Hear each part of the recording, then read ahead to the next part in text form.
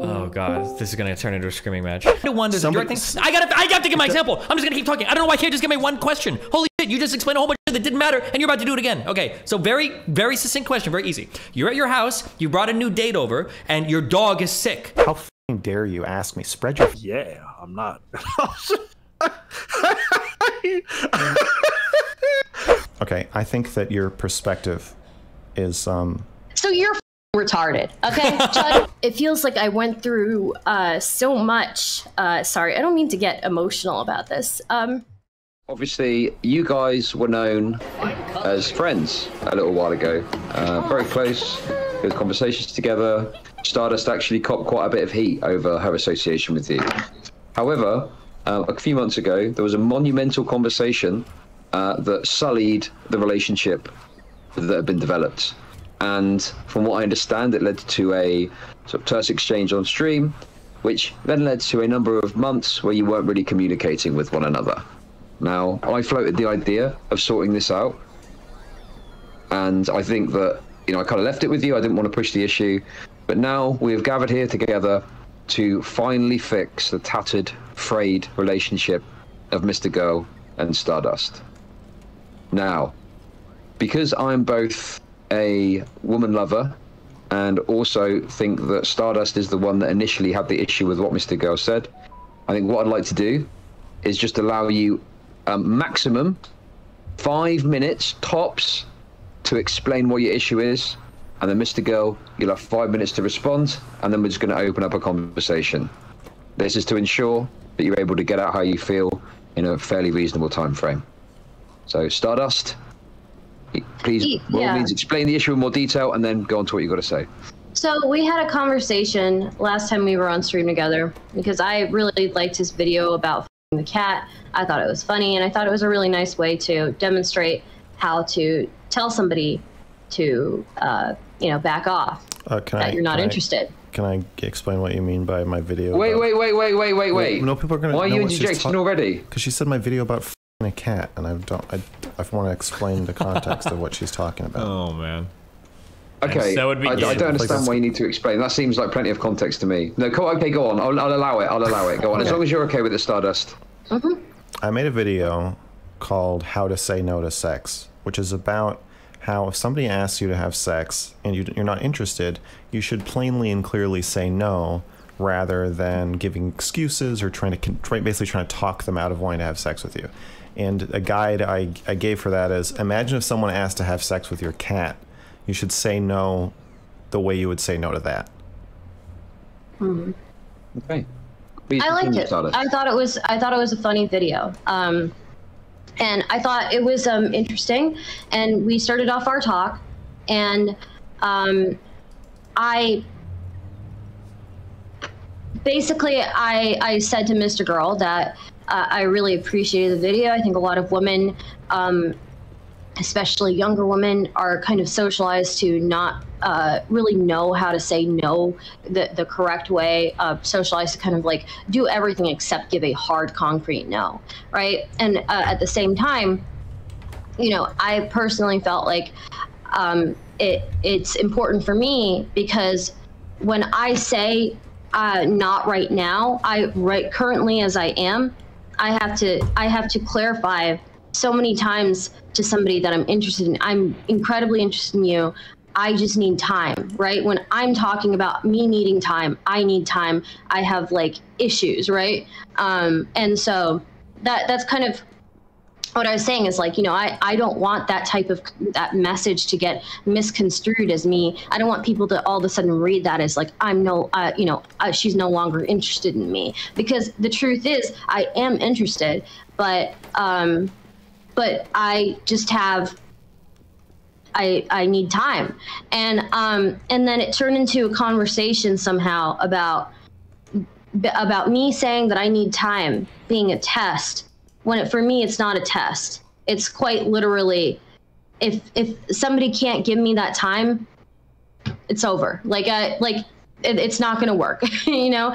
Um, and uh, and then Mr. Girl went on to talk about how well, you should understand if you're asking for time before getting physical with somebody, that they're going to be, they have the right to be angry with you or Angry. stuff like that. And then he started talking about this, uh, this, um, this relationship he had with this woman who wanted to have him get tested before they got physical.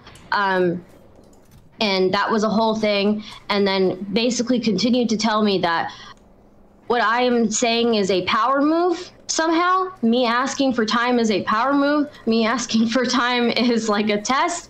And for me, it's not a test. It's I, I I have not been in a relationship for four and a half years for a very specific reason, right? I, I need that. Like I have very specific boundaries. If I can't get that, it's done. It's it, I'm not doing it, you know. And and I'm willing to be. Uh, I'm willing to be by myself rather than somebody who thinks that I am asking this as from the perspective of a power move. Jesus. Okay. Um, and sorry, I just wanted to elaborate very briefly on the, you know, uh, my understanding is you didn't have any contact for a little while with Mr. Girl. What was the reasoning behind that before we move I just to Mr. Girl? it just felt it felt awkward. It felt weird, and and you know, it's not like I have I don't wish him any harm. You know, um, I don't wish him uh, any ill will or anything like that. But there's like a funda- fundamental difference in the way that we understand this and the way that he views it, and he thinks that people should be entitled to be angry with me for exercising, um, exercising just basic requests uh, when I say you don't have to, you don't have to be with me. you know, you don't have to, you don't have to be with me. Um, to if, if if that doesn't work for you, but you don't you don't have to be angry with me either, right? Like I I don't think it's reasonable to get angry with somebody for exercising, uh, explaining what they physically need or what they physically can't give, right, at a specific time in a relationship. So. Okay. Right now, Mr. go. you've maximum five minutes to respond to that and uh, elaborate further as you as you see fit. Oh, I am angry at you. Okay. Uh, Is that it? no. I mean, for the meme, I understand because I did make a meme that. Okay, shut that- up, Stardust. yeah. Okay, listen, let the men speak. Right, Mr. Go, go. Um, no, I'm angry at you for not talking to me for three months. Um, What is all this shit? Nutrient vat, vitamin spice. when I say that it's a test, I'm not talking about your experience. I'm talking about. But that's not what you were saying. Why are you interrupting? Sorry. I'm talking about how it functions in the courtship or relationship or whatever. So if you say, well, as you just said, um, I ask for time, and if a man can't give me that time, we're done. This is why I haven't been in a relationship for four and a half years because no man has been able to. That's a, that's what I mean by test. I'm in a I'm in a relationship now. Fuck! Okay. Nick and her are dating. I'm sorry, you're interrupting. What relevance is that to anything? It's it's not. I'm just quoting. I'm just responding to what you just said. So Okay. my so my perspective here is I not. thought it was Stardust. yeah, I know. My perspective here is um. Well, I guess I can just reiterate what I was saying last time. Is that um. A lot of men don't like being told no, and will not, will not take no for an answer, um, especially if it's a vague or unclear no. And um, I think um, as a result of both women's unwillingness to set clear boundaries um, and a uh, men, men, men's um, unwillingness to accept boundaries, we've developed a kind of coded way to deal with this where women say no just to something, just to see how you react to it, and then gauge um, how safe they are with you uh, based on that. And what you describe as, oh, I need time or I need space, um, some component of that feels to me, I guess, um, whenever it happens to me, like a test. um, being human, I know that um, you can decide you want to have sex with somebody pretty quick. Um, and it's it's worth waiting a little while to see if something uh, contradictory to that impulse is going to surface. Um, but what I said to you in the conversation was like I I've noticed and I feel like once you're past thirty, the second date kind of makes sense to have sex on. I feel like if you if you can't figure out whether you should have sex with somebody by the second date or not, um, you're you're kind of lagging. Retarded? Retarded? No, that's no, that wasn't what I was gonna say. I was gonna say Okay. just yeah, I was gonna say just like a little slower. Really? Not mentally, but like um, in terms of how safe you feel. And if you feel really unsafe, you're going to do things that I think could be called tests. So I'm, I'm not saying that these these happen for no reason, and I'm not saying that there's not men who um, you know uh, deserve that. I'm saying that as a man who um, who, who I don't think needs to be tested. Um, it feels enraging to add to the shame women have about wanting sex, the uh, awkwardness of whatever. It just, it just all, all the mis, all the lies. To add another reason for women to pretend they don't want sex when they do, or maybe this is an excuse for women to pretend they don't want to have sex. It just, it, it just, it just, the the setup of like I'm supposed to convince you to have sex, and then you're supposed to go, oh no, I'm not ready. Oh gee, I don't know, I don't know. Um, I really, I really can't stand it. Uh, I really don't like it. I feel like I'm so sorry. I feel like women would run tests specifically for people like this in the hopes of filtering people like this out. Does that sound mean to say? But like I think that like if a woman were to filter somebody like this out, like somebody that feels like they're getting angry because like it feels like th- this would be like okay, that's good. I'm glad that we're not like trying to casually date then. Uh, the story I told was um, I'd known this woman for like a year, but we never had sex. We decided to have sex. She asked me to get tested, and I did. And then she told me she wouldn't have sex with me unless I physically showed her the test. And I was like, "Well, if you if you if you think I'm gonna lie to you, then I don't want to have sex with you. Like, we need some basic level of trust. If you want me to be This is like, damn. This is like the classic red flag um, for me. I, like, there are people that I've hooked up with that are really big into getting tested. Um, and if somebody asks me for a copy, I always send it. Like, of course, that's super reasonable. If I ask somebody about their STD history and they get upset just because I ask, that's one of the biggest red flags ever. Um, yeah, I don't know. I've, I, I just I don't know why you would have a problem with it. There was a girl that I used to hook up with in um, L.A. who lived in Calabasas, and I remember that her parents were not especially at risk, but she was really paranoid about COVID shit. And she was, I was like, "Do you have a COVID test?" And I was like, "Yeah, of course." I'll usually send over the stuff without being asked. Like, yeah, of course, I would expect you to ask to see some kind of proof because I could just lie and say, like, "Oh yeah, of course, I'm fine." Like, let's fuck. Like, people would lie about that shit. There's nothing wrong with asking for a test. Like, that's like, ugh, fuck it's a huge red flag. Um, it's a huge red flag if somebody throws up. Actually, sorry, I'm not. I'm not trying to come down on Max. Oh god damn it! Now Max is watching me watch this. Oh god, this is gonna turn into a screaming match. Well, anyways, I would say like that. This is like an instant like disqualification for me, and I would tell a girl the same. If somebody's like, "Oh yeah, like I asked this guy about like if he had a test, and he got upset at me for asking for, for proof or whatever," I'd be like, "Yeah, that's that's it's good that he got upset there. Like you saw who it was. Now like don't ever associate with him. Like boom, like you saved yourself a lot of trouble. Like it was good on you for asking. That's, I mean, that would typically be the advice I would give, but." Destiny is a master of misunderstanding Mr. Girl's points. Oh, we found the Mr. Girl fan fan in chat. Okay, one of you guys.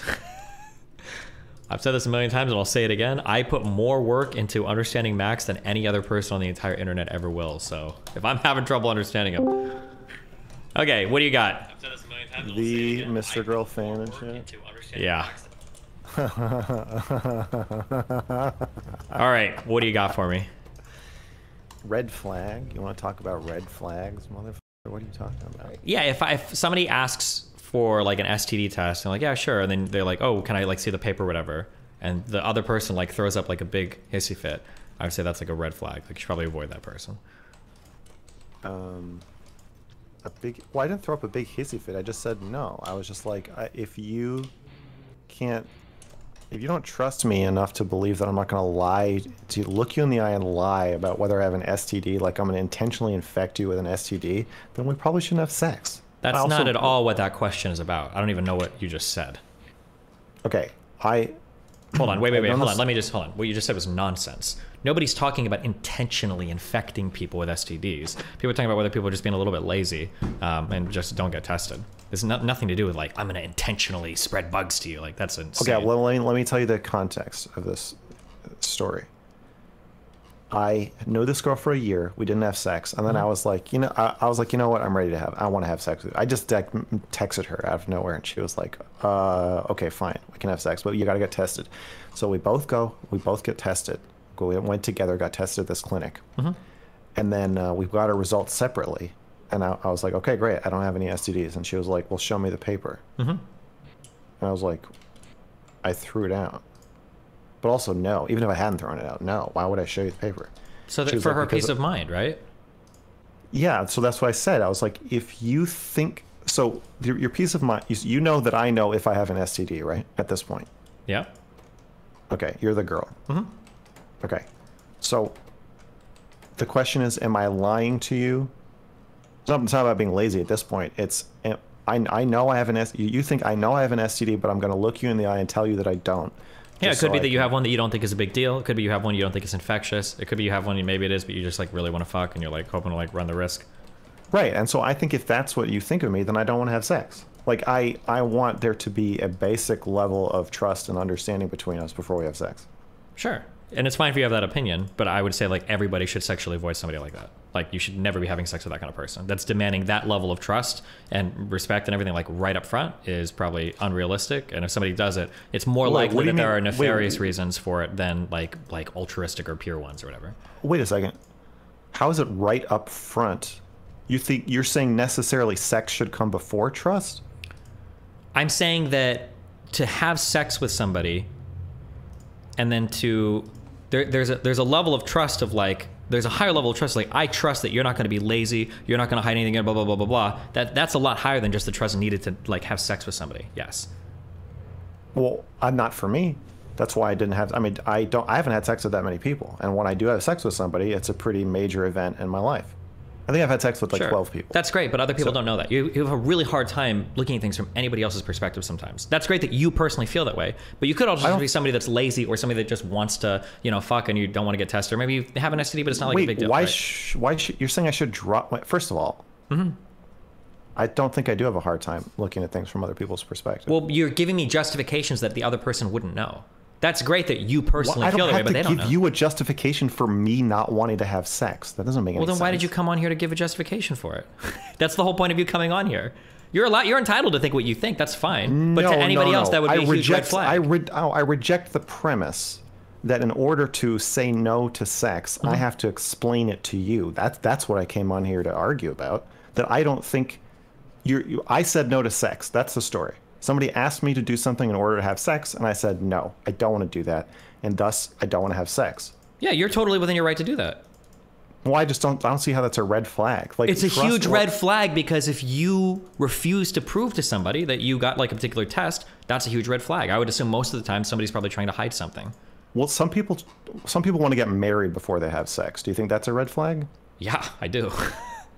Okay, well, I think you're cornering your. I think you're going debate, bro, cornering yourself into calling things red flags that don't make any sense to call red flags. I think what you were implying is that it's a red flag implies that I'm like a liar or sociopath or something. That there's That's some not what a red flag. That's not at all what a red flag is. A red flag just says, "Hold up, there's something that might be bad here." Doesn't necessarily have to be. there are people that have get married before having sex that do just fine. I personally think it's dumb, but no, no. The, it's you're saying it. It says a bad thing about me. yes, The bad thing implying that either I'm lying or that I have rationalized not telling somebody why. No, no, no. The bad over- thing isn't that you're lying or anything. The bad thing is that you're expecting the other person to have what I would say is probably an unreasonable level of trust for a new sexual partner. I understand that, but because you have difficulty looking at things through other people's perspectives, you're assuming everybody has the same level of casuality about the first time they have sex with somebody that you do. But if you Didn't you literally adjust- say earlier in here that you believe that people should be having sex by the second date? How is that not an insane level of casuality? Even I wouldn't say that's the case. There are girls that I've been I- on no, more than two dates on before I've had sex with them. I well, first let me before you pivot to fucking that. Okay, which sorry. Finish your point then. Okay, that's fine. Okay. Um, either sex or trust has to come first. And in your the way you're framing it, you're saying like sex should come up front, and then so and then I'm, I'm pushing for a level of trust that's inappropriate if it's going to come that up front. But for me, I don't. I'm not saying sex should Sex- be okay. that up front. So when you say sex or trust has to come first, so firstly, I I don't think this statement means anything. There are huge varying levels of there are varying levels of sex, but that's not relevant. But there are huge varying levels of trust, right? Sure. But Sure. this level of trust, we can just put a dot, put a pin. I in think that somebody is- spectrum at believe somebody will not look you in the eye and tell you that they don't have an Yeah, STD. I think somebody is more likely to lie about an STD than they are to like rape or murder you. Like there's a lot. Yeah, I think so, there's a lot of people that I would tr- like, especially being a man when it comes to dealing with women. There's a ton of women that I would trust to have sex with that aren't going to do anything weird if we have sex. But the amount of people that I trust when it comes to like being 100% forthcoming about an STD, uh, that's going to be pro- probably quite a bit smaller, or at least a bit smaller. And even the same thing when you switch to genders. There's a lot of women that are like, oh yeah, I I, would trust this guy to have sex with me, blah blah. blah. Yes. But would I trust him to lie about an STD? Uh, I don't know. That's different. So I think it's okay to have like, even if you have some level of trust, you still want to be, have like verification or proof of an STD test, and it shows a good I- faith willingness for you to like assuage somebody's like or assuage somebody's um like fears that you might have a disease or something. I don't. Okay, but I think that this is not good. I think this is counterproductive. It's like when girls on dating apps tell you not to send them a dick pic.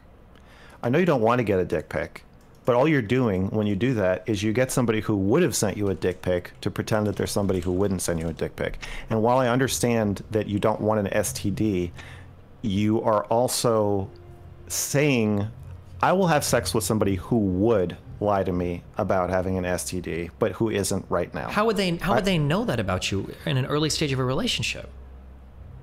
Well, that's what I'm saying. Is I I think that if you think somebody is the kind of person who would lie to you about having an STD, then you shouldn't have sex with them. Maybe I maybe I maybe I put too much stock in my ability to judge people's character. How would you? No, yeah, you can't know that. You're just wrong. There's no way that you could know whether or not somebody No, would lie I didn't about an say STD I didn't test. say no, I didn't say you would know. I said think. Well, why, think why would you gamble with like an STD? why would you gamble like that? Well, you're gambling anytime you trust anybody with anytime you let somebody into your house like it like Hold on, stop.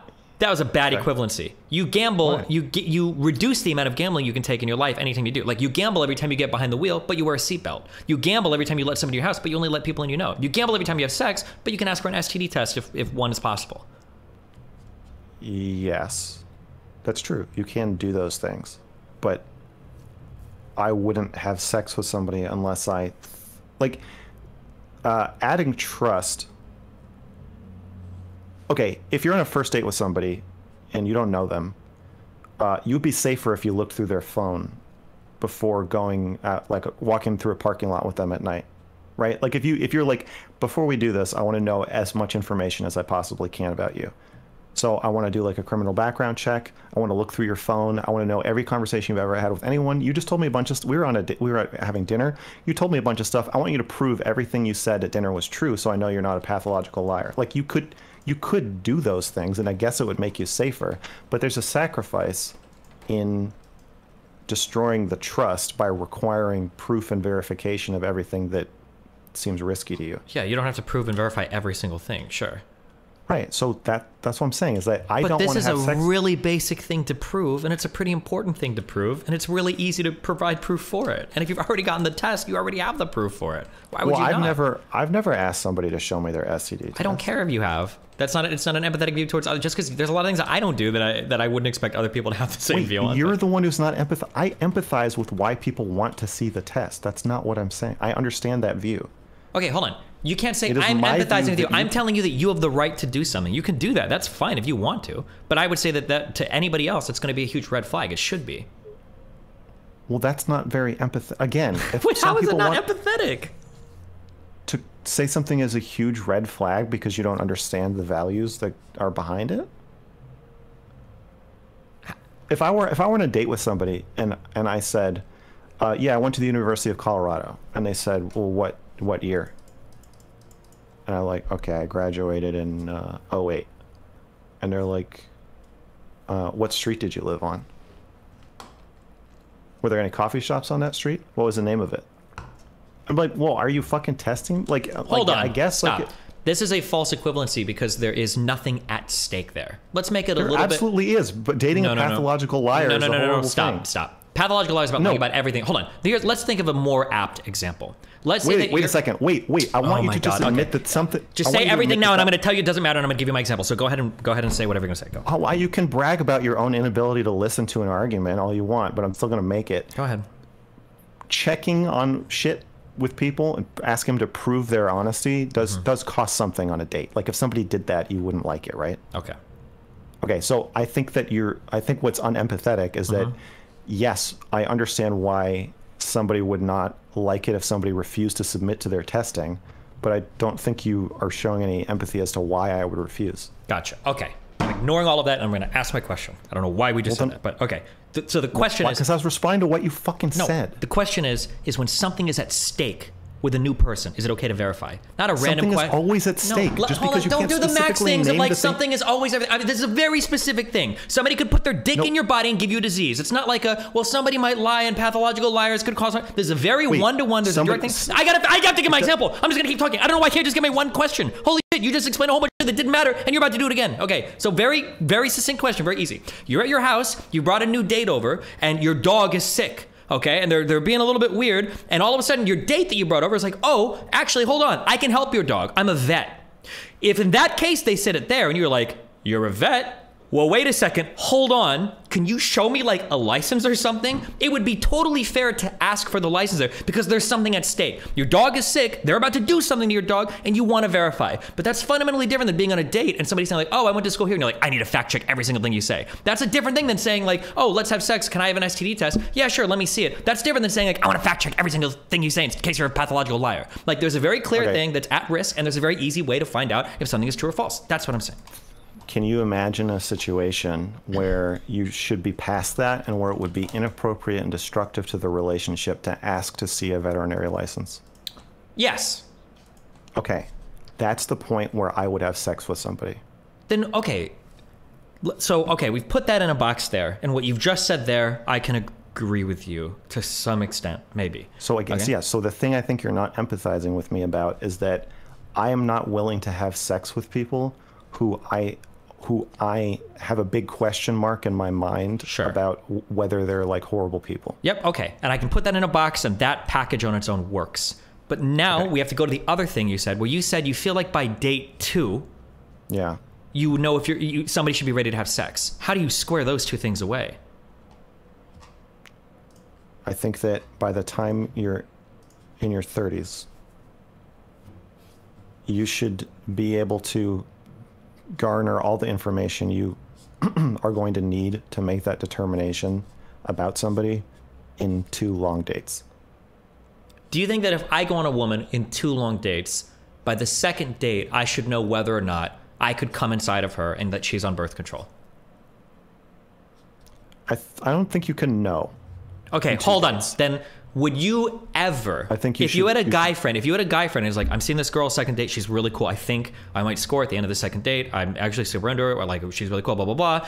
And he's like, and, and then your friend is like, Do you think I should like finish inside of her? She says she's on the pill, I think. Like, do you think I should do that? Or should I ask for like proof that she's on birth control? Or do you think that'd be like a bad thing to do? What would you give your advice to the guy friend there?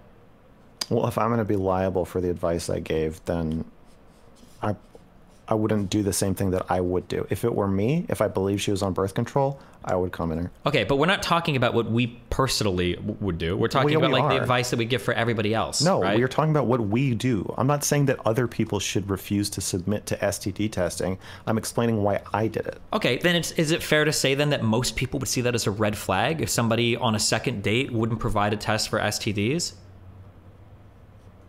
Is it fair to say that most people Could see that as a red flag. Uh, wouldn't provide a test? if asked. No, it's only a red flag if the person is insisting that you have sex. I don't think it's a red flag to be like, listen, I don't think we should have sex then. It's a red flag if you're like, how fucking dare you ask me? Spread your fucking legs. Trust me. Just trust me. I'm going to do this. That's a red flag for sure. Because then you're pushing past their boundaries. But setting up my own counter boundary of being like, I don't feel comfortable having sex. Like, if you have not made a determination about whether I'm a liar, then we shouldn't have sex yet. Okay, do you understand that the answer that you would give there would be the same exact answer that somebody would give if they were in fact a liar? Yes, that's what trust is. You cannot do trust is when somebody could hurt you, but you are trusting them not to. And you've So built that trust say- up by the second date? Well, I would, but if they haven't, then what I would say is, okay, let's wait until you think I'm not going to look you in the eye and lie to you and hurt you. But I don't want to. Ha- I don't want to have sex before that point. Why? Why? I don't want to do that. I don't want to have sex with people who think that I might be like a crazy person. Okay. I think looking somebody in the eye and lying about an STD test is a more unusual behavior. If you if you've gotten a test, um, that's that's an odd thing to do. I don't think that's something that most people would do. So you're talking about somebody who's like, I think a lot of people lie about getting STD tested. They'll just say whatever because they want to fuck. what what percentage of men do you think would look their date in the eye and say yes, I got a test. No, I don't have herpes. No, I don't have this. I don't have that. Probably 10 plus I- percent, I'd say. That's a lot. Yep. I feel like I feel like it's like two percent. Like here is a here is a lot of people just don't know. Here's a fact, okay? No, no, but no, no, no, no wait. Let me. Fin- I'm gonna finish. Okay. Wait, Every wait, single woman changed- that I've had sex changed with, the hypothetical. You just changed the oh hypothetical. I'm talking about somebody who just got a test and has it, just read it and threw it out. What percentage of those people do you think would look their date in the eye? if you lie about it? knew that they read it and threw it out, that number is probably lower. But I don't know. I- Like you're gonna see the person, see them throw the test out, and not tell you. Like this is an absurd hypothetical. This isn't we happening went to the, the clinic. time. We went to the clinic together, so she knew I got tested. Okay, in that case, I would say that she should one million percent run the away from you as quickly as possible. If you walked into that clinic an together answer to and you question. both got tested and you crumpled it up and threw it away and didn't show it to her, then I would say that guy has fucking AIDS. Run. That's That's, what I would say. That's fine, but that's not an answer to my question. My question is, what percentage of men in that situation would see that they do have an STD, but then look their look the person in the eye and lie about it? Um, at that point, I, I don't know. I think it's pretty low. You said 10 plus percent before. Probably, if you're willing to go to the clinic together and get the test, it is probably pretty low. But the percentage of men that wouldn't share the test is also incredibly low.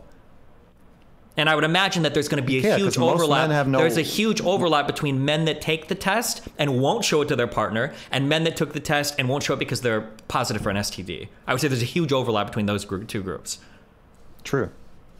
So why would so true. why why and and the issue even if they haven't if they've just said they've gotten tested a lot of people just don't know that much about STDs. So for instance, I've slept with a lot of women who said like, "Oh yeah, I've gotten STD tested." I'm like, "Oh, crazy. Just curious. Have you do you think you have herpes? Have you ever gotten tested?" I was like, "Oh no, no, no. My tests have all been negative for herpes too." And I'm like, "Okay, cool." Um, and I might ask casually later because I always shit test like this because it's funny. I was like, "Oh, like have you ever had like a blood test for STDs?" And almost every single time they say, "No, I've never taken a blood test for STDs." Then you haven't gotten tested for herpes. Yeah, you you Yeah. don't you just don't know. And they're not lying about it, but they just truly they don't know. You can't test for herpes on a pee test. It just doesn't work that way.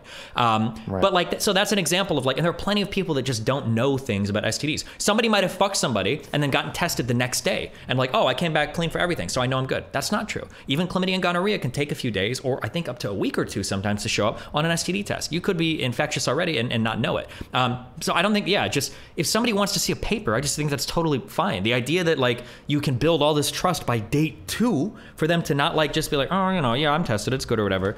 Th- that's just it's a huge red flag for me.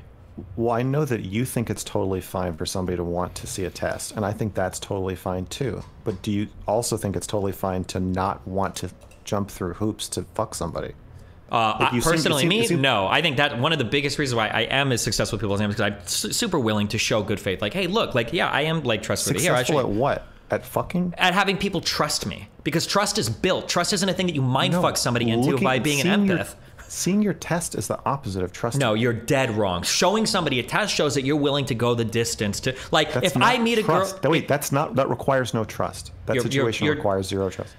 Trust is when yeah. trust is when You- someone this could is just hurt not you. no no that's just this is just not how human brains work if i That's go fine, here's here's the- if i go if i if i show up and i I see finish? somebody Can I finish what I'm saying? no hold on because you interrupt me all the time if i oh, you can finish after this if i show up at somebody's house and i'm like oh yeah let's fuck blah blah. I'm like oh shit are you tested it's like yeah actually i have the fucking paper right here and i show them if somebody sees that the trust that they have in me will go up a lot just by the fact that i have that with me and i'm willing to like bring it up without them asking would be a huge level of like building trust i know that for a fact go ahead that builds trust, but that is not trusting. Yes, I agree that building trust can be can happen when you say something that could be a lie and then immediately prove that it's not a lie. That could make someone more likely to trust you later. But the act of actually trusting somebody is when they could hurt you. You have no way of proving or verifying that they won't, and no way of verifying your own safety, and then you choose to trust them. Sure, I, mean, can agree with that. that- That's, but I would also say that's a red flag. I don't. e- I don't even know what you mean. Trust is. I'm just defining the word trust for you. Okay. because we keep you keep using it, but I think you're not using it in this way. I Sure. want to when you say def- trust, yeah, I'm sorry. Well, let's get into it. So when you say trust, what you really mean is blind faith in somebody. That's what you mean. no, it doesn't have to be blind. It can be come up with a, all the data that you've amassed about the person since meeting them or since going on dates with them. But the the, the trusting part is when they could hurt you, and you're uh, giving them the, you're showing them your belly. You're giving them the opportunity to hurt you and trusting that they're not going to, because of how you feel about them or what you've seen so far. Uh, okay. So, for me to have sex with somebody, we have to be past the point where they trust me enough to think that I'm not going to look them in the eye and lie. And if they don't trust that in me, then I don't want to have sex. So again, it's like, um, this is, you're saying you're more successful, and I, I agree that jumping through people's hoops because they don't trust you and making it so they don't have to trust you as much will get you laid more for sure. But that's not my goal. My goal in the story is not to get laid okay. at all costs. Gotcha. So I'm saying I, I require and obtain a higher degree of trust. I don't. I just don't see. Again, there's people who won't have sex with you till they get married. So I just don't see how it's a red flag for to be like, yeah, like. Wait, yeah, how can? Okay, hold on. No, no. Now you're wrong. Okay, everything you said up to that point is a okay. You can have your views of everything. You can have your way, but but when you say I just can't see how that's a red flag, now you're you're in the wrong because what you're saying, what you're positing, would be a red flag to to most people. That by It's the second re- date, oh, again, ahead. again, it's only a red flag if it's accompanied with entitlement. So it's definitely a red flag to say we're we're gonna fuck. You owe me. You have to fuck me. You don't get to see the test. You're gonna trust me. It's not a red flag to be like, yeah, you know what? I only have sex with people if we really click. And that that is that is a red flag. What you just said is a red flag. I would consider that to be manipulative.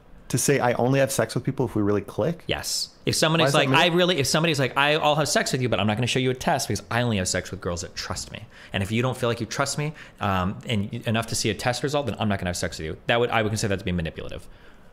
to manipulate her into having sex. Yes, of course, easy.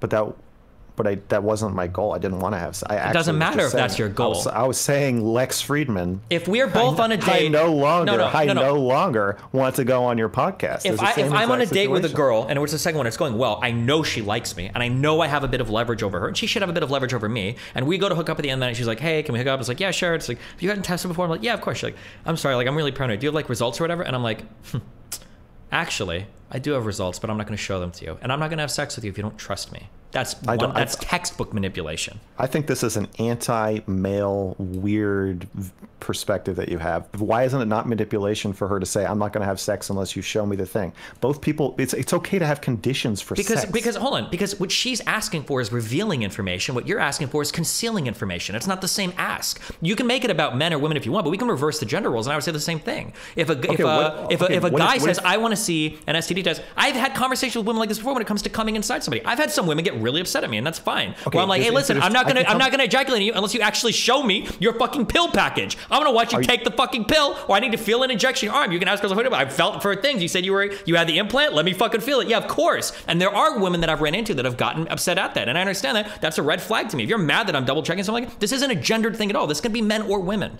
It works on both sides. Wait, you don't think th- you so you think that if a woman says, "You know, I don't really want you to watch me take my pill." That seems weird to me and if we're this is where this is going. I don't want to have sex anymore. She's being manipulative because she's forcing him to have sex with her without the revelation of You this don't have information. to force somebody, but I think it can No, be no, it can no. be manipulative. You yeah. just no, no, no. Let's turn. Let's reverse. If it's not gendered, then we should be able to nicely reverse the genders, and it should work out just fine. What you just fucking said is that I'm being manipulative by saying I don't want to go through your test, so let's just not have sex. Mm-hmm. If a woman said the same thing, a man says I want to watch the pill go into your mouth, and she says, you know what, let's not have sex. I don't want to anymore. She's manipulating him into having se- unprotected sex with her potentially. It- no, she's just can be setting a fucking manipulative, yeah. boundary. But it's not. It, you wouldn't have that reaction. It's, it's just, just setting a boundary. It's being No, no, like, if, look, if I if, I go to have sex with a woman and I'm like, hold on, wait, before we do this, like, can I just see proof that you're actually like on birth control? And she's like, I actually don't fuck guys that ask for proof of that. And I'm like there and I'm horny. I'm like, ah, fuck me. Like, okay, yeah, that's a that's kind of on you, manipulation. bro. That is that's on you. All No, manipulation it's is on you. That's the point of manipulation. You're not actually forcing somebody to do something. You're mind fucking them into it, of not- no. course. You're, it's not mind fucking if she actually just doesn't want to have sex. If she's like, look, if you're the kind of person that has the amount of casual sex and the lack of trust and the lack of intimacy in the casual sex you have, where you feel like it's socially appropriate to demand to watch people take medication, we're just not on the same page. I just don't want to do this. Okay, I agree with I- that. I- yeah, it's not on the same page. Sure, that's fine. You're I- right to have that. You can do that. Okay, so I don't think me saying no to sex should be framed as manipulation. I said no to a bitch. What's the big deal? I guess it would depend on, on, on where the context of it comes up at. But I mean, it, it, to me, that's what it feels like. I would say that it is. But Well, she didn't say that. She said I don't care what she says. Women are fucking stupid. but so are men. So I wouldn't care what the. per- I don't need their testimony in that circumstance to, to know whether or not. Especially if I am accusing you of a form of manipulation. Why would the manipulated person know if they're being manipulated? Usually they don't. I just, I just, I feel like you are assuming that I want to have sex so badly that I actually am willing to jump through the hoop, but I just am not doing it for some other reason. Instead, it feels like you don't genuinely believe that being asked by somebody to show them my test results makes me actually not want to have sex with them. No, There's the issue how is can I- because how can right I navigate now, that without if I, manipulating? I don't, I don't know. I don't know about you personally, but in the overall dating scene, right now, an overwhelming amount of trust is asked for on the woman's side. There's a lot of trust involved. There's very, very, very little on the male side. There's a huge amount of trust asked for Yeah, on the woman's side. so when we're in a situation where if a woman could ask about an STD test for like what is a relatively minor thing, it's not an inconvenience to you to just show a paper or whatever, and that's too big of an ask. You're asking Wait, for them to take on even makes me- more risk. Then I'm like, It Jesus, makes- it's just it like an makes me- unreasonable ask. There's no reason to do it. But what if it just makes me not want to have sex? That's fine. You don't have to. Just like I would say, if somebody made a wait, big deal about showing a test, then then then I'd say that's a red flag. You don't have to. You don't have to do this. Yeah, sorry. You're saying that me not wanting to have sex is a red flag and then calling it manipulation. No, hold on. What did I She say? did Max? something- No, no, no, no, no. I said that you not wanting to have sex is a red flag. That's a manipulate. No. What did I actually say? me say? refusing to show her the test. Yes. And, and, and instead of showing her the test, saying, you know what, I don't think we should have sex. If you don't trust me, I don't want to have sex. Yeah, it feels like a, a manipulative game. Yes. What? How can I react if I genuinely no longer want to? Ha- if if I am like, oh, you're a paranoid person. Mm-hmm. I don't think you're a trusting person. I think that any relationship with you would just be an endless nightmare of people lying to each other and checking each other and looking through each other's shit and spying on each other. And I don't want to get into this. I want an adult relationship with an adult woman who trusts me and who I can trust and who is willing to take the risk of being like, oh, well, if you say something, you look me in the eye, then I believe it. That's the relationship I want. That's the sex I want. How can I how can I navigate that without doing what you think is a fucking red flag or mm-hmm. manipulation? I would say when they put up the boundary, then you just de- detach completely. That's what I would say. It's probably the appropriate thing to do. so just not respond. All right, yeah, just be like, okay, well, I don't think this is gonna work out, and then leave. You- so it just you think it's inappropriate to explain why? Yes, I think you should just leave. Okay.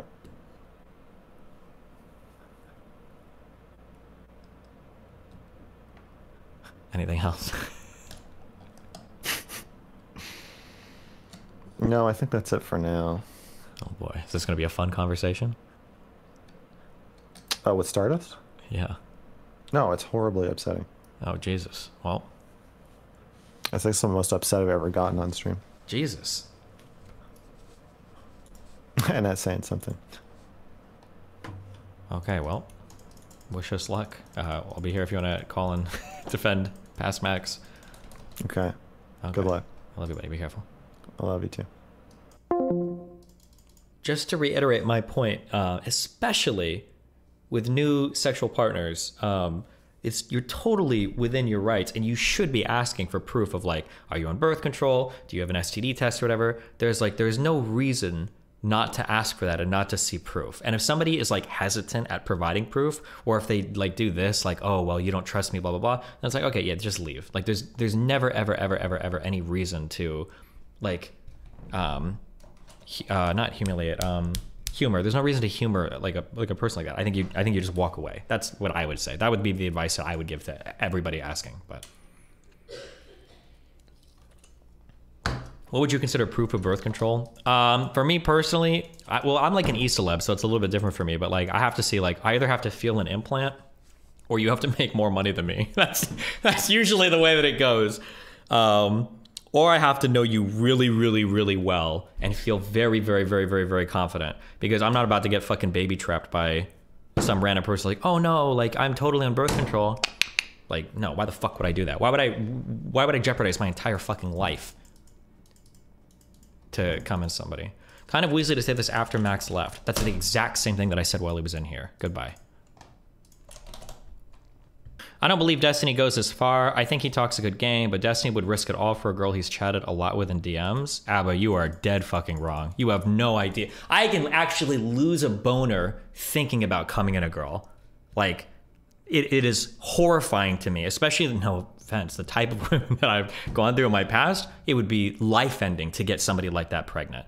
Like, uh, fuck, I don't know if there's somebody you could ask, but like, there are girls that I've gotten into fights with because they have actually gotten offended or upset where it's like oh like where do you want to finish? And it's like oh i don't know like oh i can do this or that or that. And she's like oh what about a sign? He's like oh i don't know. And like what do you mean you don't know? It's like oh you know i just don't normally do that type of thing. Like there have been some women that have gotten like upset at me 100% but like i can finish anywhere. It's just an orgasm. Like um is there an example of somebody that i've fought with? There are some people that i do trust though. Like if i meet somebody like um I'm not trying to say that like I wouldn't trust anybody ever about anything. Like there were a few people that I knew in LA that were really cool. Like there was a girl I knew she was going to law school. Like I had I think I'd even met her parents a couple times. Like she seemed like she super her life together, blah blah blah. Like yeah, sure. Like I'll trust like probably a person like this is okay. Another girl I knew in LA that was loaded. She lived in like Justin Bieber's neighborhood, going to top five law school now. Like yeah, I trust that girl. Um, if I've known somebody for a long time, like years and years probably. But for somebody that i've just like been talking to for like a week or two and then like we meet and we hook up like i'm probably not like finishing aside that person. It's just it's the risk is way too huge. And i would kill myself. I would kill myself. If they the thing that i always think about when i put myself in a situation is like okay if it goes wrong and i was talking to myself in the future would i say man that really sucks or would i say man you're a retard you know like if Melina would have baby trapped me, we've been dating for four years. If I were to tell myself that five years and I'm like, damn, Melina baby trapped, it's like, damn, that sucks. Like she got you good. Like she dated you for three or four years, came to the U.S., gave up her whole shit. Like damn, she you man, you you got got right. But if I meet like a girl at TwitchCon and we go back to my room to mess around, and she's like, no, trust me, baby. Like oh, like look, I got pills. I got pills in my purse. Like of course I'm on birth control. And then we fucking she gets knocked up, and I talk about it like three years from now when I'm on the hook for child support. And I'm like, bro, you nutted at a girl you met first night at TwitchCon? What the fuck? dog. She showed you pills. Good job, dude. Good one. Like I feel like a dumb. I feel like an idiot. You ask her where you should bust during? Yeah, of course. What are you fucking silent when you're fucking a girl? Yeah, when you get close, you let her know. Yeah, hey, I'm gonna come soon. Like, where should I finish? Or what do you want me to finish? Or what do you want to do? Blah blah blah. Sometimes they'll ask. Yeah, sure. You just keep going and you're like, you nut inside her and you're like, hey, I hope it's okay, but like, the fuck out of here. You're about to trigger the out of me, aren't you? No, no, not at all. Not Okay, all. what's up? Uh, I was gonna say, if if you really do what you say, that's impressive. Because I probably argue that like before 25, had like little to no dick discipline. So I don't. know Mm-hmm. Oh, dude. Oh, no, no, no. Before 25, I'm sure I fucked up. Absolutely. No, no, no. For sure. Absolutely. Before 25, there might be some little Steven Bonnell the thirds out there that I was just a retard about. I don't think I was as much before 25 for sure. But today, like like 30 and onwards, uh, I think I've been pretty, or no, probably like 27, 28 and onwards. I've, I've thought about it before. But yeah, I'm sure like 22, 23, when I was like first starting to like um, hook up and get around with people, I wasn't thinking about it as much for sure. because I hear some people talk about like sexual health and and, Mm-hmm. and doing everything properly, and I'm like, that's great. I'm like, but y'all never was around and did anything wild before the because the way that people talk about it, I don't know if it's real. Mm-hmm. So sometimes I hear people like, oh, you know, you always want to ask for STD checks and all this other stuff. I'm like, I don't believe you do that every time. I think you say that outwardly because it's the right thing to say. Mm-hmm. But the truth is, most people are not doing that. I know because when I was out there, I would get tested, and then I would ask the girl she'd gotten tested, and she's like, "Yeah, yeah, I did." And then the, as we dated, I found out she hadn't been tested like six, seven months. Mm-hmm. Yeah, for sure. So, that how there's. I usually tell people like I, I don't, I don't most ask. people yeah, lie Yeah, for sure. And I don't ask. I don't ask every single time. Mainly because I don't even like. Mainly because I.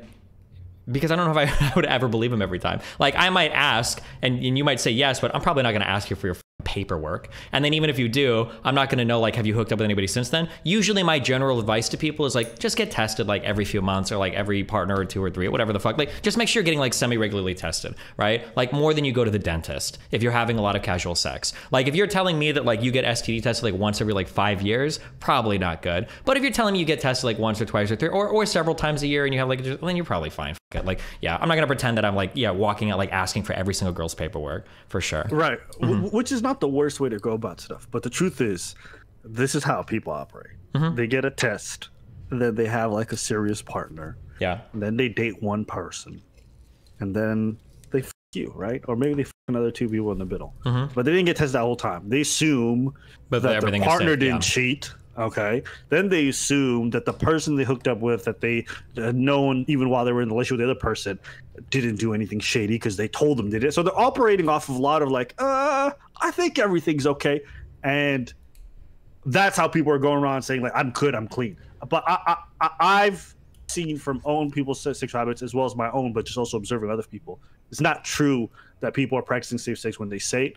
And uh, I think that's how most people end up catching STDs. Oftentimes, is from people who think they're clean and are confident they're clean, but fucked around with the wrong person. Yeah, it just depends on how much you get tested. Like, as long as you're getting tested every few months, you're probably okay. Just make sure you're not going like months and months between, or not even months, and months, But, but like there- not there's no years reason. between. Yeah. Most people are not going to get tested that often because even if they have sex every once, like like you, you and I are having sex often, Yeah, right? all the time. Most people Hell are, yeah, my you know, sex just plowing pussy, right? So, but most people are not fucking that often, so True. they don't feel The- like the need, and they don't feel at risk for it. Like, Oh, sure. I'm sorry. Hold on. May- I'm sorry. I should have. Maybe I should have just said this because I'm not even. The problem isn't the STDs because gonorrhea and chlamydia aren't who the f- cares, especially because a lot of people are asymptomatic. The reason why I say you should get tested every so often, it's not even necessarily because of transmission. The problem is that if you have chlamydia or gonorrhea and you carry these for a long time, they can start to do permanent damage to your reproductive system. Absolutely. That's the reason why you get tested, like more than like hopefully more than once a year, but at least like a couple times a year, or or just just to make sure that you're not carrying these for long times. For men, I think chlamydia, I think can destroy your seminal shit or whatever, and you can become like almost infertile,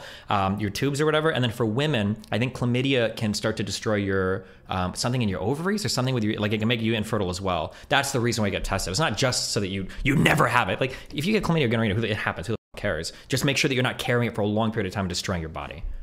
Yeah, yeah. I think um, I think most people's knowledge of, like sexual health is like limited to none. Mm-hmm. When guys ask me about it, they're like, "Yeah, you just get the pill," but like you said, it can affect your reproductive abilities, Yeah. or it can have other long-term effects that like really fuck up your urinary tract and things like that. So, Mm-hmm. so one thing you want to definitely get rid of. Unfortunately, those are the ones that you can get rid of easily. There's some that you can't, and there's other ones that also like I don't know. I, have never had an encounter or getting anywhere close to stuff like uh, syphilis or weird stuff like that. Uh-huh. But apparently, those things have extreme side effects as well. They're common in some part pockets of the world. So Uh-huh. it, it just takes one wrong vacation, just takes fucking with the wrong person. So I mean, the truth is, Uh-huh. and I think this is what I accepted a while ago, is that when you're out there fucking, you're rolling dice. Now, there's certain things that might elevate those risks, certain types of people that you might be fucking with that might elevate those risks. Uh-huh. But the truth is, there's just risks with hooking up with people. Period. Sure, but I would say as a you guy, on- you should be minimizing the fuck out of your. At least as a celebrity,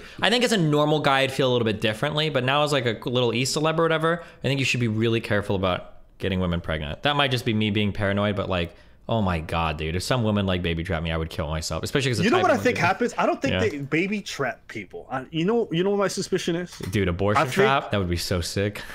I If I was a woman, I would like DM like six guys and be like, "You remember when we last year? Give me ten grand, or I'm gonna carry this baby to term just to see who pays up." I would. Sorry, God. So so this is what it is. Mm-hmm. Once they get pregnant, they start feeling all types of stuff and they change their mind. Sure. It's not that they trapped somebody and I think as a man, it's kind of tough to understand because you're on the receiving end where you're essentially being brought into having the responsibility of taking care of a child that you didn't want. And that even if she agreed beforehand, let's say she said to you, I don't want a baby, I'll mm-hmm. never want a baby, yada, yada, yada. Yeah. She gets pregnant, all the hormones get injected. She thinks about having the child, naming it, raising it, mm-hmm. all the fucking childhood things she never got to live. And she starts having second thoughts. It's mm-hmm. fucked up, absolutely, because as a man, you get dragged into it. But to me, on my side, there's an understanding I have of why they wouldn't go through with the abortion. Um, yeah, I would instantaneously. I would do everything I could to manipulate and coerce that woman to have an abortion, um, or she'd be taking a, a couple of short trips down some long Bro, bro, stairways, sound and then I would never talk to her ever again. I would never, ever, ever f- you for even pretending to do that to a man. That is one of the worst, most insane fucking things. I'm empathetic. I understand you may have some crazy feelings going through your mind, but listen, dude. Uh, you know, hormones are temporary. Child support is for 18 years. Okay, that's some insane fucking shit to put a guy through. Um, that shit. Ha- be an adult. Don't like being emotional is not an excuse for everything. If women want to be taken seriously, even when they're on their periods, which I think they should be, then you need to be able to be an adult, be taken seriously when you're fucking pregnant. Like make some adult choices, okay? P. okay, all right. Hypothetical. Hypothetical. Let's say she changes her mind. She wants to keep it, but she says you don't have to be involved any type of way. And she swears to her dying day she'll never make you involved. Man, that's a shitty thing to do to somebody because now they're gonna have a kid that like they is gonna maybe seek him out one day and they don't know how they're gonna feel about that. Um, damn, go find a guy that wants to be the dad. Like that's just such a shitty thing to do to somebody. That's so horrible, Okay, and it's a horrible thing to do to the kid. Like Just to make it easier for you to stay away, what if she names the child Vouch? it's just such a horrible thing to do to everybody involved. Why? Like that's a What, horrible name the thing child to do. Vouch or birthing him? like like having the kid when the guy doesn't want to and when you are saying the kid is never going to see the guy and everything like why would do that that's just so fucked up why would you do that to the kid why would you do it to the guy why would you do that to yourself go find a husband that wants to have a kid with you or go or or abort that kid and just go to a semen factory and get the f- uh, artificial insemination or whatever like jesus I mean, I, I get what you're saying. I get what you're saying. Uh, it's a tough one. It's a tough one. I it's think, not um, tough sorry i don't think it's tough i think it's really simple like if the person says they don't want to have a kid don't have a kid with them like Yeah. Yeah. Yeah, I think um, maybe it's because I'm getting older and I haven't had a child yet. So I think my, my thoughts of like wanting to keep children become more and more prevalent. I don't know if you noticed this, but actually, no, you probably had the opposite experience because you've already had a child. But um, yeah i'm good dude i got one i don't need even fucking more Melina. you know, I'm just kidding. sometimes, so, so, so, so sometimes you're inside the sugar walls and the girl's like, uh, this what happened. she was Dominican too, which is funny because I'd heard a joke the week prior, but we were going at it. And then I was like, you know, I asked her, like, where do you want me to come? And she said, inside me. And I'm like, I thought you weren't on birth control. She's like, yeah, I'm not.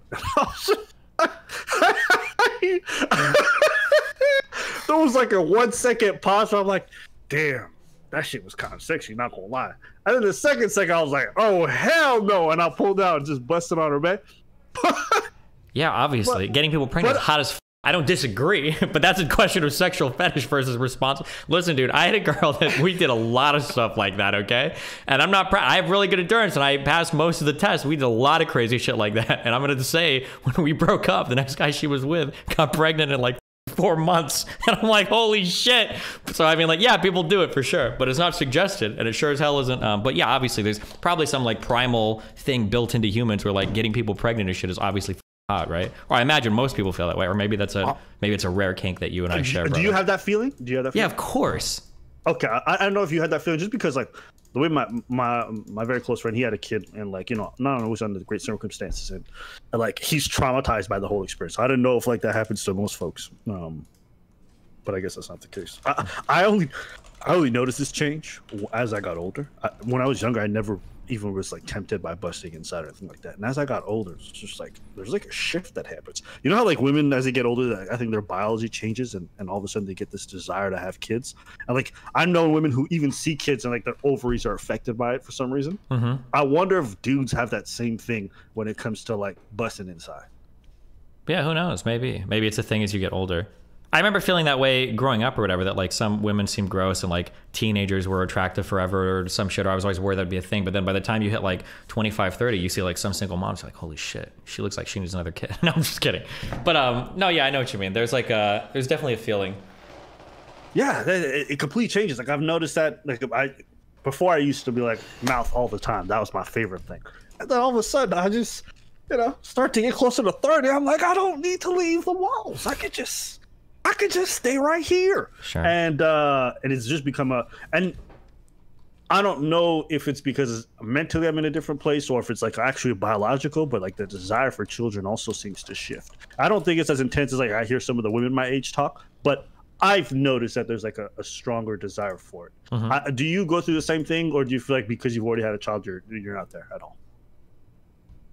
Um, am I going through the same thing where I want because no, I don't feel like I want another one now because I, I already have Nathan and he's already long distance. So yeah, but I mean, like if Melina wants one at some point, I probably will. But I think the problem is I'm like I put so much time into work and everything right now. Like I barely have time for even Melina and Nathan. Like have another kid, um, have time for Melina and Nathan, not to Melina and Nathan. Sorry, that came out weird. Okay. But, um, I, yeah. I, I came in on the trail end of that last discussion, but I Uh-huh. heard you guys talking, and it sounded like it was a circumstance.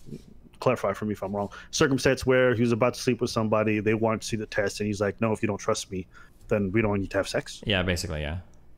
Okay, and you were essentially making the point that, that it, that's kind of manipulative. Um, it depending on the circumstance, it feels like it could be, yeah. Yeah, I mean, I could definitely see it. Uh, you know, you're is it the first time they're sleeping together?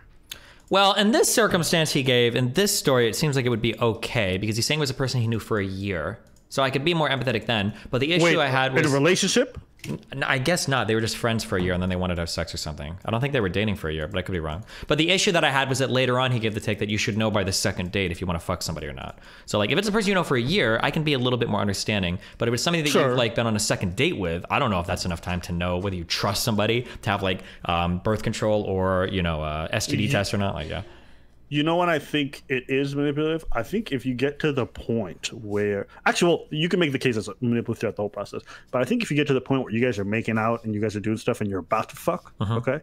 Like you guys are starting to address each other and there's like, oh wait, are you tested? Can I see the test or whatever? Uh-huh. If you do it at that point, I think that's when it's pretty. Yeah, for sure. That yeah. That- that- if you're that- having that- like a text conversation like the night before and like, hey, are you tested? And you're like, no. Or, or you're like, yeah. And she's like, can I see? And you're like, no, I don't have sex with people to do something. That's probably fine. If you're like long distance, it's like but when I say long distance, like you're not like in the heat of the moment ever. Yeah. But the closer you Yeah. get to that moment, if you say like during a date, that it starts to feel a lot more weird. And maybe that's just me being autistic, but like I I, I think you're in tune to this. Like when you're on a date with somebody and they like you, you can move that person really far outside of their comfort zone and they'll probably go along if they like you enough um, and i try to avoid situations i guess like that with people especially if i know the person really likes me there's a lot of things i can ask that they wouldn't be comfortable with normally but they'll do it because like they're around me and it's in the moment and blah blah blah yeah and i think mean- yeah Yeah. Uh, so, so the whole idea of withholding things within the dynamic of a relationship Uh-huh. is generally a pretty strong tactic if you want to manipulate them to do what you want. Meaning,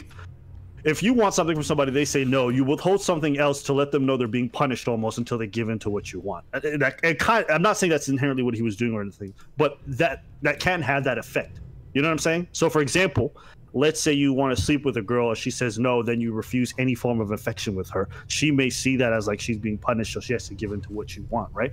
Um, and I, I think that extends to like different forms of actions that you can take in any relationship where if you don't get what you want, Mhm. yeah, there's ways you can take away things to make the person acquiesce to what you want to do. And that can that Sure. can definitely be very manipulative. Although I will I'm say, you yeah, you, you have to be ahead. careful because you can like there are things where it's legitimate to withhold things. It just depends. Like if a, if a woman feels like a guy is like treated her like shit all day, and then at the end of the day he's like, okay, hey, let's fuck, and she's like, no, f- you, dude. Like I don't think that's like manipulative on the woman's part. Like she might just be like upset, and she's like, I don't really feel like f***ing right now. Like I, I yeah, so I, those those dynamics get a little bit complicated, you know.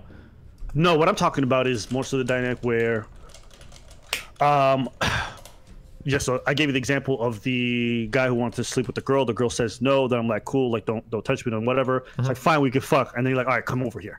It's like it's like once you get what you want, then you just flip, it over. Like it can it Sure. can look a little bit sus from from my perspective, but yeah, that's probably the only uh, co- contribution I had to that conversation. Gotcha, gotcha. Okay. I mean, at the end of the day, I think if you're going to sleep with somebody, you should be completely transparent. Just show them the test. And I, I feel like that's the best thing, mostly because um, I, I, don't know how you can be out here sleeping with people and just assume that they have done STD tests. I think most people operate under a certain level of shame, um, a certain level of like um, discomfort when it comes to talking about sex in general. Mm-hmm. I think seeing the test is like the only real indication you're ever going to have 100% that the person's actually tested or is clean. Or else you're just going on, um, you know, like, oh, uh, do I trust me? I'm like, do I?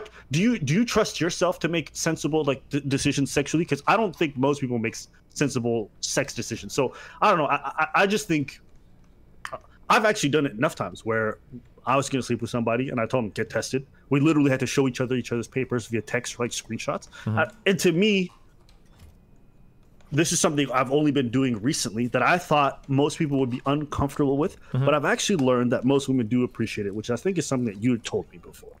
Oh yeah, it's that weird. I even felt that way growing up. I think I even made fun of people like Laci Green talking Yeah. about like affirmative consent and shit. I was like, this shit is so cringe. Um, I've never in my life lost a woman in the moment because she felt like me like checking in on her was cringe ever. But I know there's a lot of women that I. F- because I have checked in and we've like pumped the brakes a little bit and then eventually like they felt safe to continue. Um, now, obviously, there's going to be like ways to do this that's like okay and ways it's going to be ultra cringe. Like I'm never going to be like, can I touch your leg? Can I touch your boob? Can I put my finger in you? Can I put two? Like, it's never gonna be cringe shit like that. But like, Yeah. maybe like on first contact, contact, like, is it okay if I have a hand on your lower back, or whatever? Like stuff like that. Like, you know, like just every now and then, it's just good to know, right? Um, the thing that I always stress, and it's hard to know this obviously because it's like a big social signaling thing, is that like the most important thing is the other person always needs to feel like you're gonna stop um, if they ask. That's like the thing that's important. Sometimes like showing a little bit of restraint makes them feel like you will if they ask, and that's like that, at the end of the day, that's the most important thing to keep in mind. Yeah. W- what do you think makes people so uncomfortable about having those sex talks? Um, it depends. Uh, oh, For uh, uh, women, women are just uncomfortable with everything having to do with sex because um, the problem with women is when you say no to a guy or you try to pump the brakes or you just even if a woman wants to have sex with a guy but she just wants to be like a little bit chill is you it's there's a huge fear that every barrier is an invitation for a debate. And this is why girls will ghost guys instead of just like saying like, "Hey, like it didn't work out," like blah blah blah. Like when a girl says no, oftentimes it feels like to her because she's probably had experience with guys do this. That if you say, "I don't know if I want to do this right now," the guy will be like, "Oh, well, why not? Like, didn't you say you were cool earlier? Like, oh, well, I thought everything was okay. Like, didn't you like blah blah blah?" Like the guy will get whining, and you're in this like really weird position where it's like anytime you try to slow the guy down at all, he turns into this like puppy that's like crying and whining, and then you feel like shit. And it's easier to just kind of like shut the fuck up and go along and get fucked than to actually like advocate for yourself at all because the guy's always going to make a big fuss about it. So you feel like the reason why women don't feel comfortable bringing this up is because men get weird about it? Yes, abs- I think so. Yeah. Do you think okay? Do you think that most women are responsible with their sexual health? Mm, Not really. I don't think most people in general are. Unfortunately, the- Okay. the, onus is kind of on women because they're the ones that get harmed more than men in these circumstances, right? I, I definitely think they have more to lose, absolutely. But, but Yeah. why do you think um, most people in general are not responsible with their sexual health? I, I, I'm, I'm asking about the factors that lead to it. We have so much accessibility to STD clinics nowadays, resources online.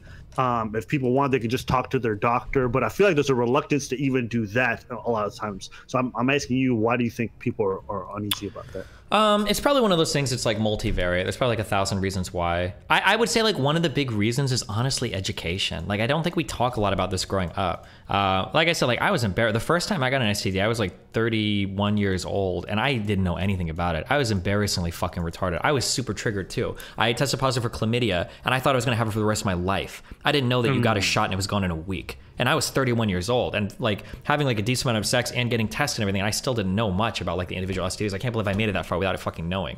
Um, that um, yeah, and I think a lot of people. And oh, I was gonna respond to my YouTube chat earlier. We're saying stuff and um, in my chat, STD tests in America are a luxury item. The big issue is STD tests costing $750 plus. Neither of those things are true. I'm pretty sure, I think, at least in California, I think you could go into a Planned Parenthood um, and you could get. Um, you can get tests for free. And also, I'm pretty sure there are other places you can get STD tests for like 30 or $40. Um, like, yeah, they're not expensive at all. $750 plus. That's if you, I, like, usually when I get tested, I'll do the full battery because I'm checking for herpes and everything because I don't have either of those yet. Um, not that I, I don't even think it's a big deal if you do necessarily, but um, the full battery of like a blood test and everything is usually like three or $350. It's not 750 plus. And that's where the full, like, HIV, um, syphilis, and herpes, and like all everything else too. So STD tests are not that expensive. Yeah, I um I, I know that a lot of the cities that I've been in, at least major cities in America, they generally have some clinics that offer this stuff for free. Mm-hmm. Just because for most of the states, um, STD being rampant are really bad for the healthcare system in general. Yeah, they and are. they know a lot of people are priced out, so they have a lot of initiatives which offer free testing. So you just have to kind of search that up and look that up in your area. The wait times are generally a bit longer. People Yeah. there are generally more poor, but if you can handle being around peasants, you guys should 100% go. I go to a private clinic near me, and it's like pretty cheap. It's like 50 bucks for the full battery of tests. Mm-hmm. Um, and so, so yeah, I, I would tell anybody who's listening, if you think you're priced out, that isn't true unless you're in like a small area. Even then, I don't believe those prices that people mention. So I would just look into Google like free STD checks in your area because generally there's places for that in specific clinics. Um, somebody mentioned shame, and I know as an immigrant that's definitely true. I think coming from like a very religious background, everything sex related was absolutely taboo growing up, mm-hmm. and so we had this kind of culture where everyone fucked, but nobody talked about fucking, and Yeah. so it was really kind of bad. Where like I didn't know about condom use, I didn't know about masturbation. I, I remember the first time I had a wet dream, I was confused what was happening. Like, like I didn't understand any of this stuff, and so I ended up learning from the internet, which is like not always the best way. You, it, on, on the forums when I was growing up, like that was a weird place to learn about sex. Guys were always giving you bad information. So, um, a- a mixture of like shame definitely plays into it, um, and I think it's unfortunate, but thankfully through like education like destiny mentioned i did learn a lot and if you guys are wondering how you guys can broach the subject of stds to women you're seeing or starting to see um if you just let them know in a responsible manner so like one way i used to do it or one way i still do it is i would just tell somebody like hey um listen i would actually do, do you ever do this before the first date No, well, it depends on the types of conversation we're having beforehand because I don't want to sound like ultra presumptuous unless I've like already been like fucking like sexting somebody or like talking hardcore about it. But like, Okay. yeah, if if it's like a casual, like if I've got like let's say somebody at Twitch comes like, hey, we should get dinner. I'm like, okay, cool, and I like DM them and I'm like, hey, just so you know, here's my STD result. like that would be like really forward. no, no, you wouldn't. You wouldn't do that. You wouldn't do that. But what one thing I like to do, Uh-huh. if I was speaking to somebody for like, let's say if I meet them from online dating, Sure. and we've been talking for a few weeks, like maybe two, three weeks, and we're like thinking of going on a date. If I feel like there's a lot of chemistry, I'm like, listen, I think there's a lot of chemistry. There's a strong possibility we may or may not have sex. Um, uh, and so I always like to be responsible about this stuff. So I've been tested, and if you want to see my test, I got it on me. And if you haven't been tested, um, I'd like it for you to do the same generally by broaching it in that manner.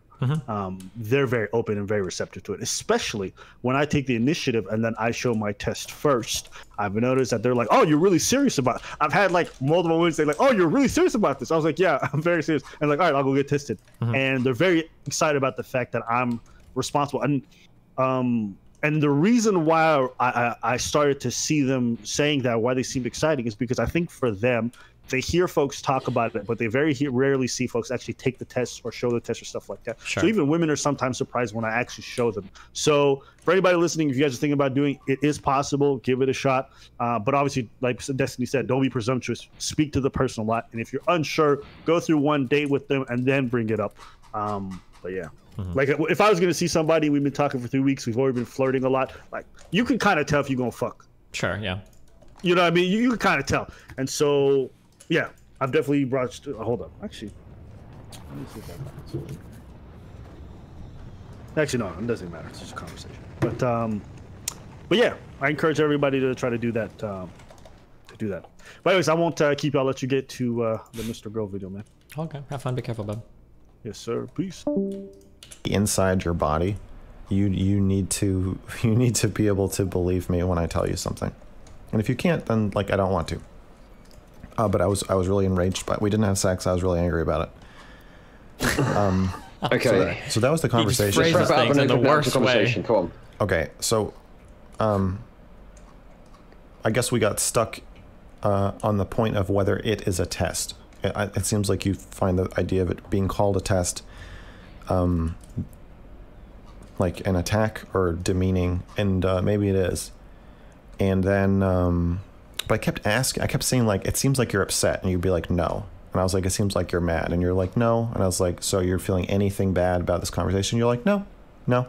And then I- immediately after the conversation ends you like look at your chat and you're like that well that was weird. And you're like obviously super upset. And then you don't fucking talk to me for three months. So i it, i whatever i was annoyed about in the hypothetical idea of dating you has now taken over our friendship or I, I essentially derailed our friendship at this point. Like we i can't really even think of you as a friend now because we how can we be friends if you if you can't even tell me when you're obviously upset with me um, on stream or off stream for three months?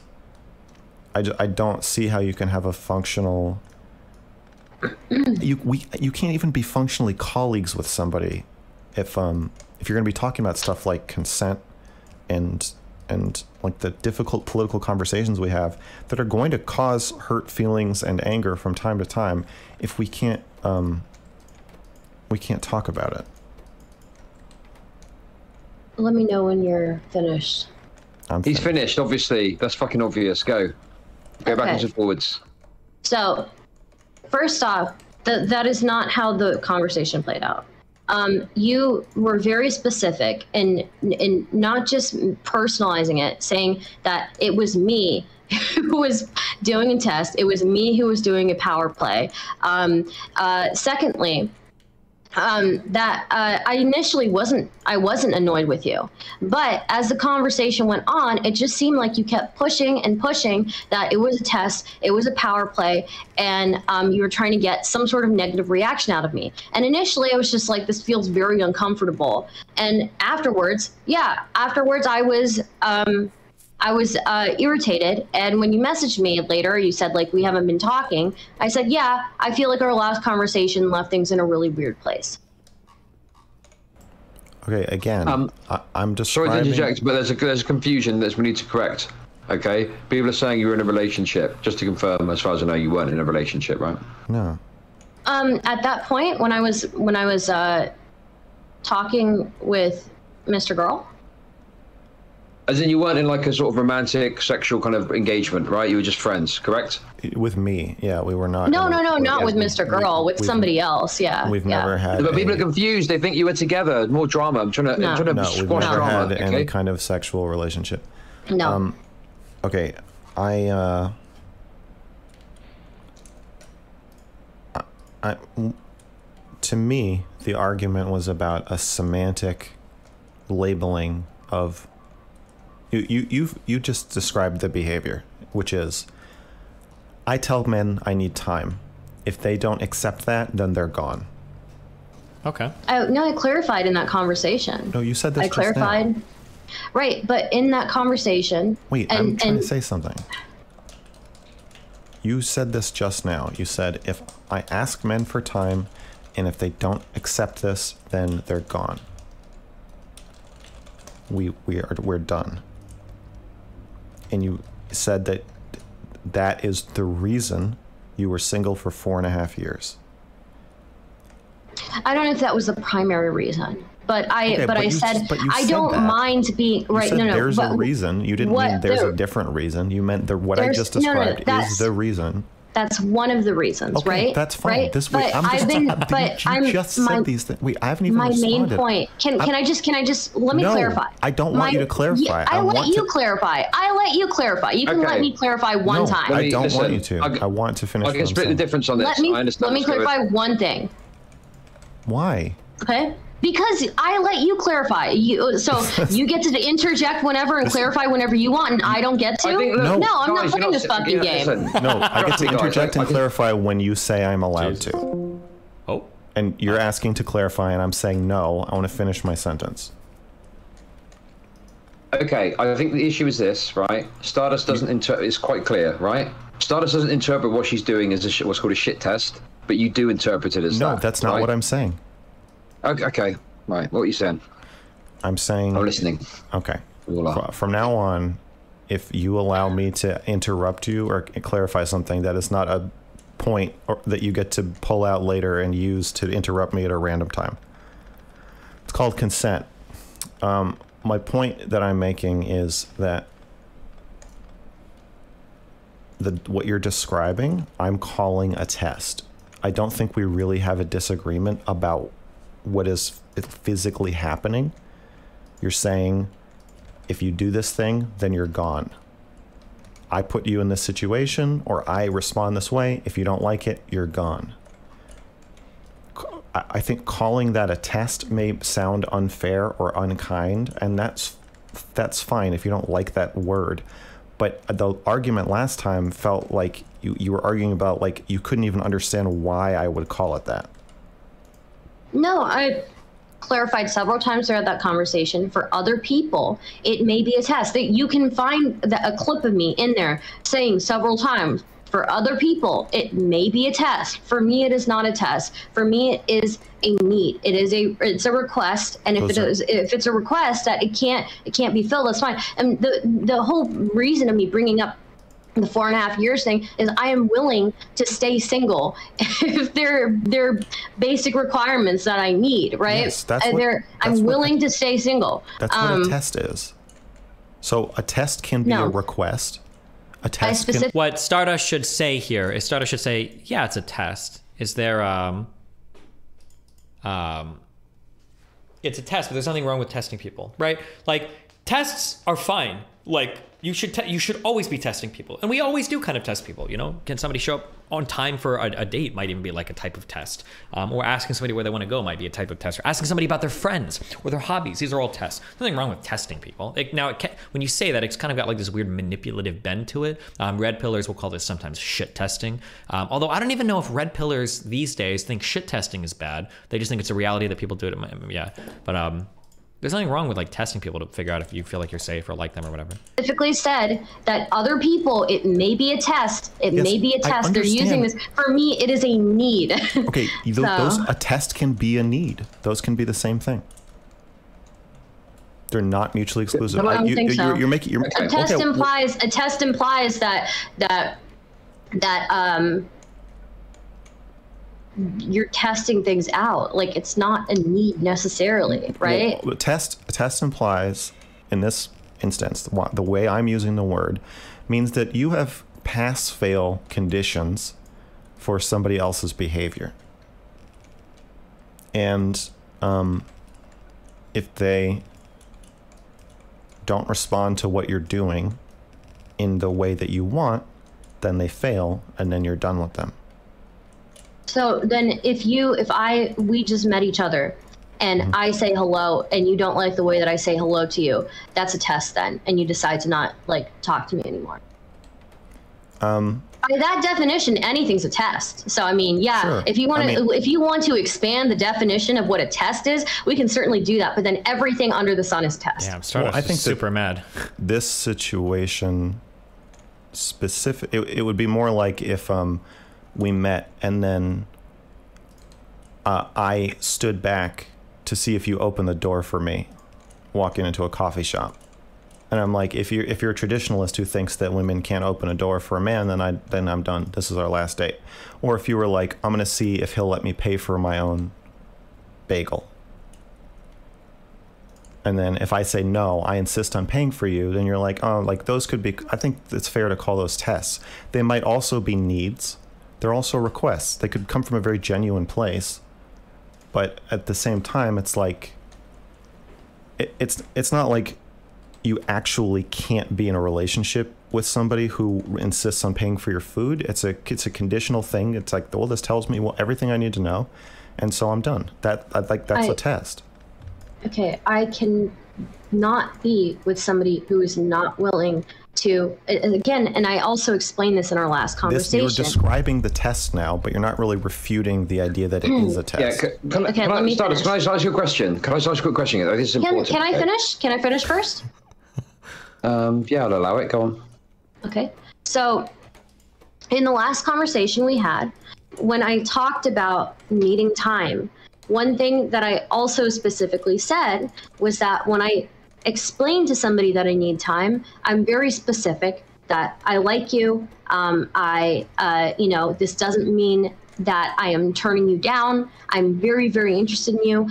Um, I, you know, I want to be at this place with you. I just need some more time. Right? These are very clear signals that I give to somebody.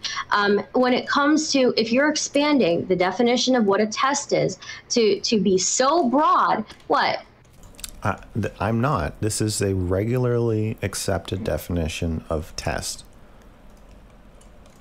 Okay, I, I think I can help with this. Like, I genuinely can. Right, Stardust. I've got two questions. One question for each of you. Okay. So Stardust, why are you so averse to having, you know, this dynamic called a test? Um, it wasn't even the test part. It was the it was the implication that it was a power play, uh, and that somebody should be Right. entitled to be angry with me uh, for for exercising basic boundaries.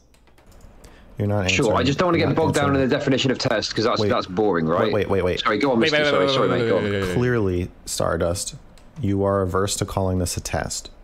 He just In the asked- way that you Wait, mean wait, test, wait. yes. He, no, you're not. You're averse to calling it a test in any way. Clearly, you've just made this Because clear. of said- what you mean let me- by me- a test. I want to finish. You just said to call this a test, you'd have to call everything a test. There is no statement you could make that is more. This is not appropriate to call a test than that. Well, what she's When saying is Chud true, just though. asked you- Basically, everything is kind of a test, right? So why are you so opposed to calling this a test? You said, "Well, I'm not." So okay, so then It's is it a test? specifically the implication that you put towards it. Well, let's You let's have when a little you good call faith. something a test, when Let's- you call something a test, Mr. Girl, you are talking about this. Uh, it, you are talking Girl. Specifically about this name. being a Oof. power play, or this is like, That's um, not- oh, I'm going to see. Okay, uh, let's- how, let's have a- that is how you described it last conversation. That's fine. Let's have a little good faith though. If you think it is a test, but you don't think it's a power play, why don't you just say that? Um, because I my definition of test it it includes that. My definition of test includes that it is not something that's necessary for your relationship. Whereas for me, I feel like this is something that's very necessary for my relationship. Do you believe that when I I just said I think tests can be necessary? A test can be a need. I said so that. by do your wait, wait, by said- your wait, definition, I said that. Do you do you think I'm trying to trick you or a Trojan horse the idea? no, there? I think if that's your definition of, of test, then sure we can go by test. But then we've got another issue here, which is your implication that it's a power play, uh, or your very not even implication, very specific statement that it's a power play, and also your very specific statement that oh, men, sh- you know, should have a right to be angry with you if you have a boundary like that. Okay. So, okay, Max, I wanted to ask you because you seem very insistent on using this word test. What's the reason you think it's important that it's, you know, defined as as a test? because it describes how it feels to have it done to you and it um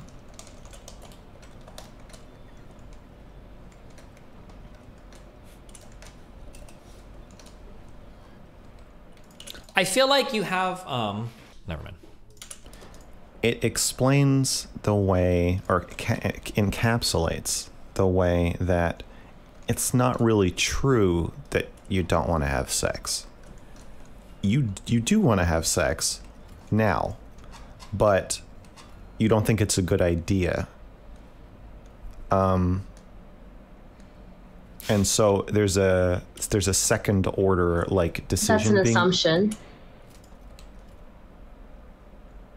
Well, I'm basing it off of what you just said. So if you think I'm misinterpreting it, that's fine. But the reason I'm calling it a test, a test to answer Chud's question is there's a second order thing happening. So like if Shaylin says, um, "Do you want some ice cream?" and I say, "No, I've eaten too many calories today." I do want ice cream, but there's another reason I'm saying no because I'm thinking ahead and I think test encapsulates the combination of a conditional situation. I want to see I want to see how you react because if you react a certain way, I don't want to be with you.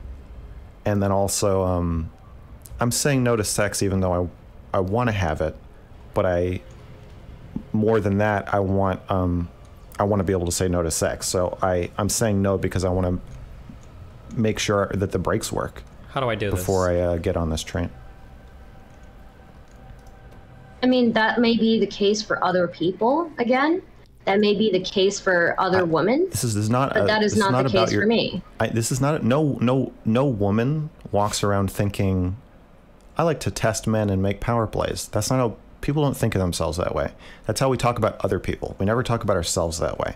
Like the way you're, You're talking about. way- the- like, no, though. this You're is a, still this making is, an assumption. No, I'm gonna. I'm gonna tell you. I'm gonna tell you. You are making an assumption is about why I No, I'm- have to say that. Why I have to say that is different. There may be people it's- it's who, not- like you said, who subconsciously need what you're talking about. But for me, that is not the case. how for would you me, know if you don't subconsciously need something? I am I am not uh, I'm not saying that I need more time to see a reaction How would you somebody. know? How do you know your I'm I'm communicating. I'm communi- because I communicate very clearly with my partner. How do that, you communicate hey, something you don't know? I ex- I explained it to you earlier in this conversation. How can you explain something that you you yourself don't I, know? I again okay so uh, let me let me explain to you again I communicate when I when we re- reach this I just- area I just wanna know the answer I to this one specifically question. Empath say. I specifically say that hey I do want to be with you I am interested in you I understand. I, I mentally I heard right you said. now I am not okay then you get it then or what get, do you not I, get I get your narrative of yourself.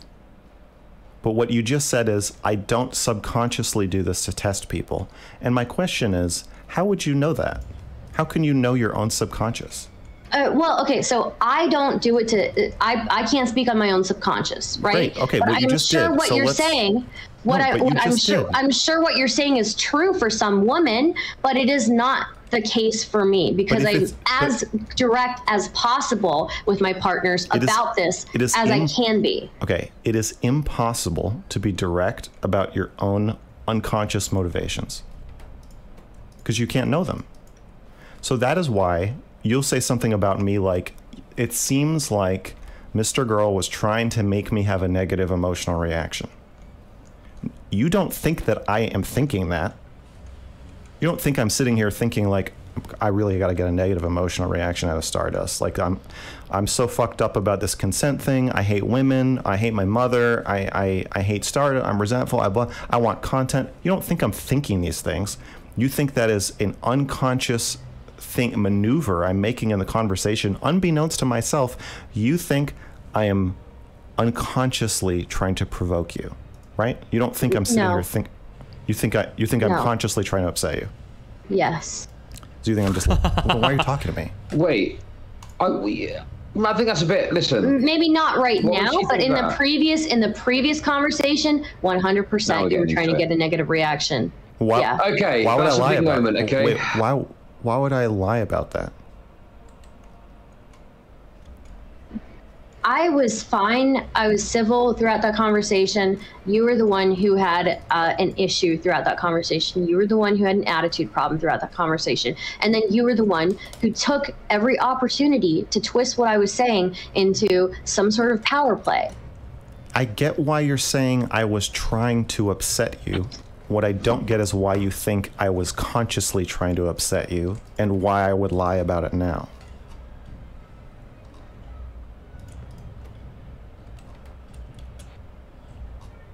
I think that you were resentful.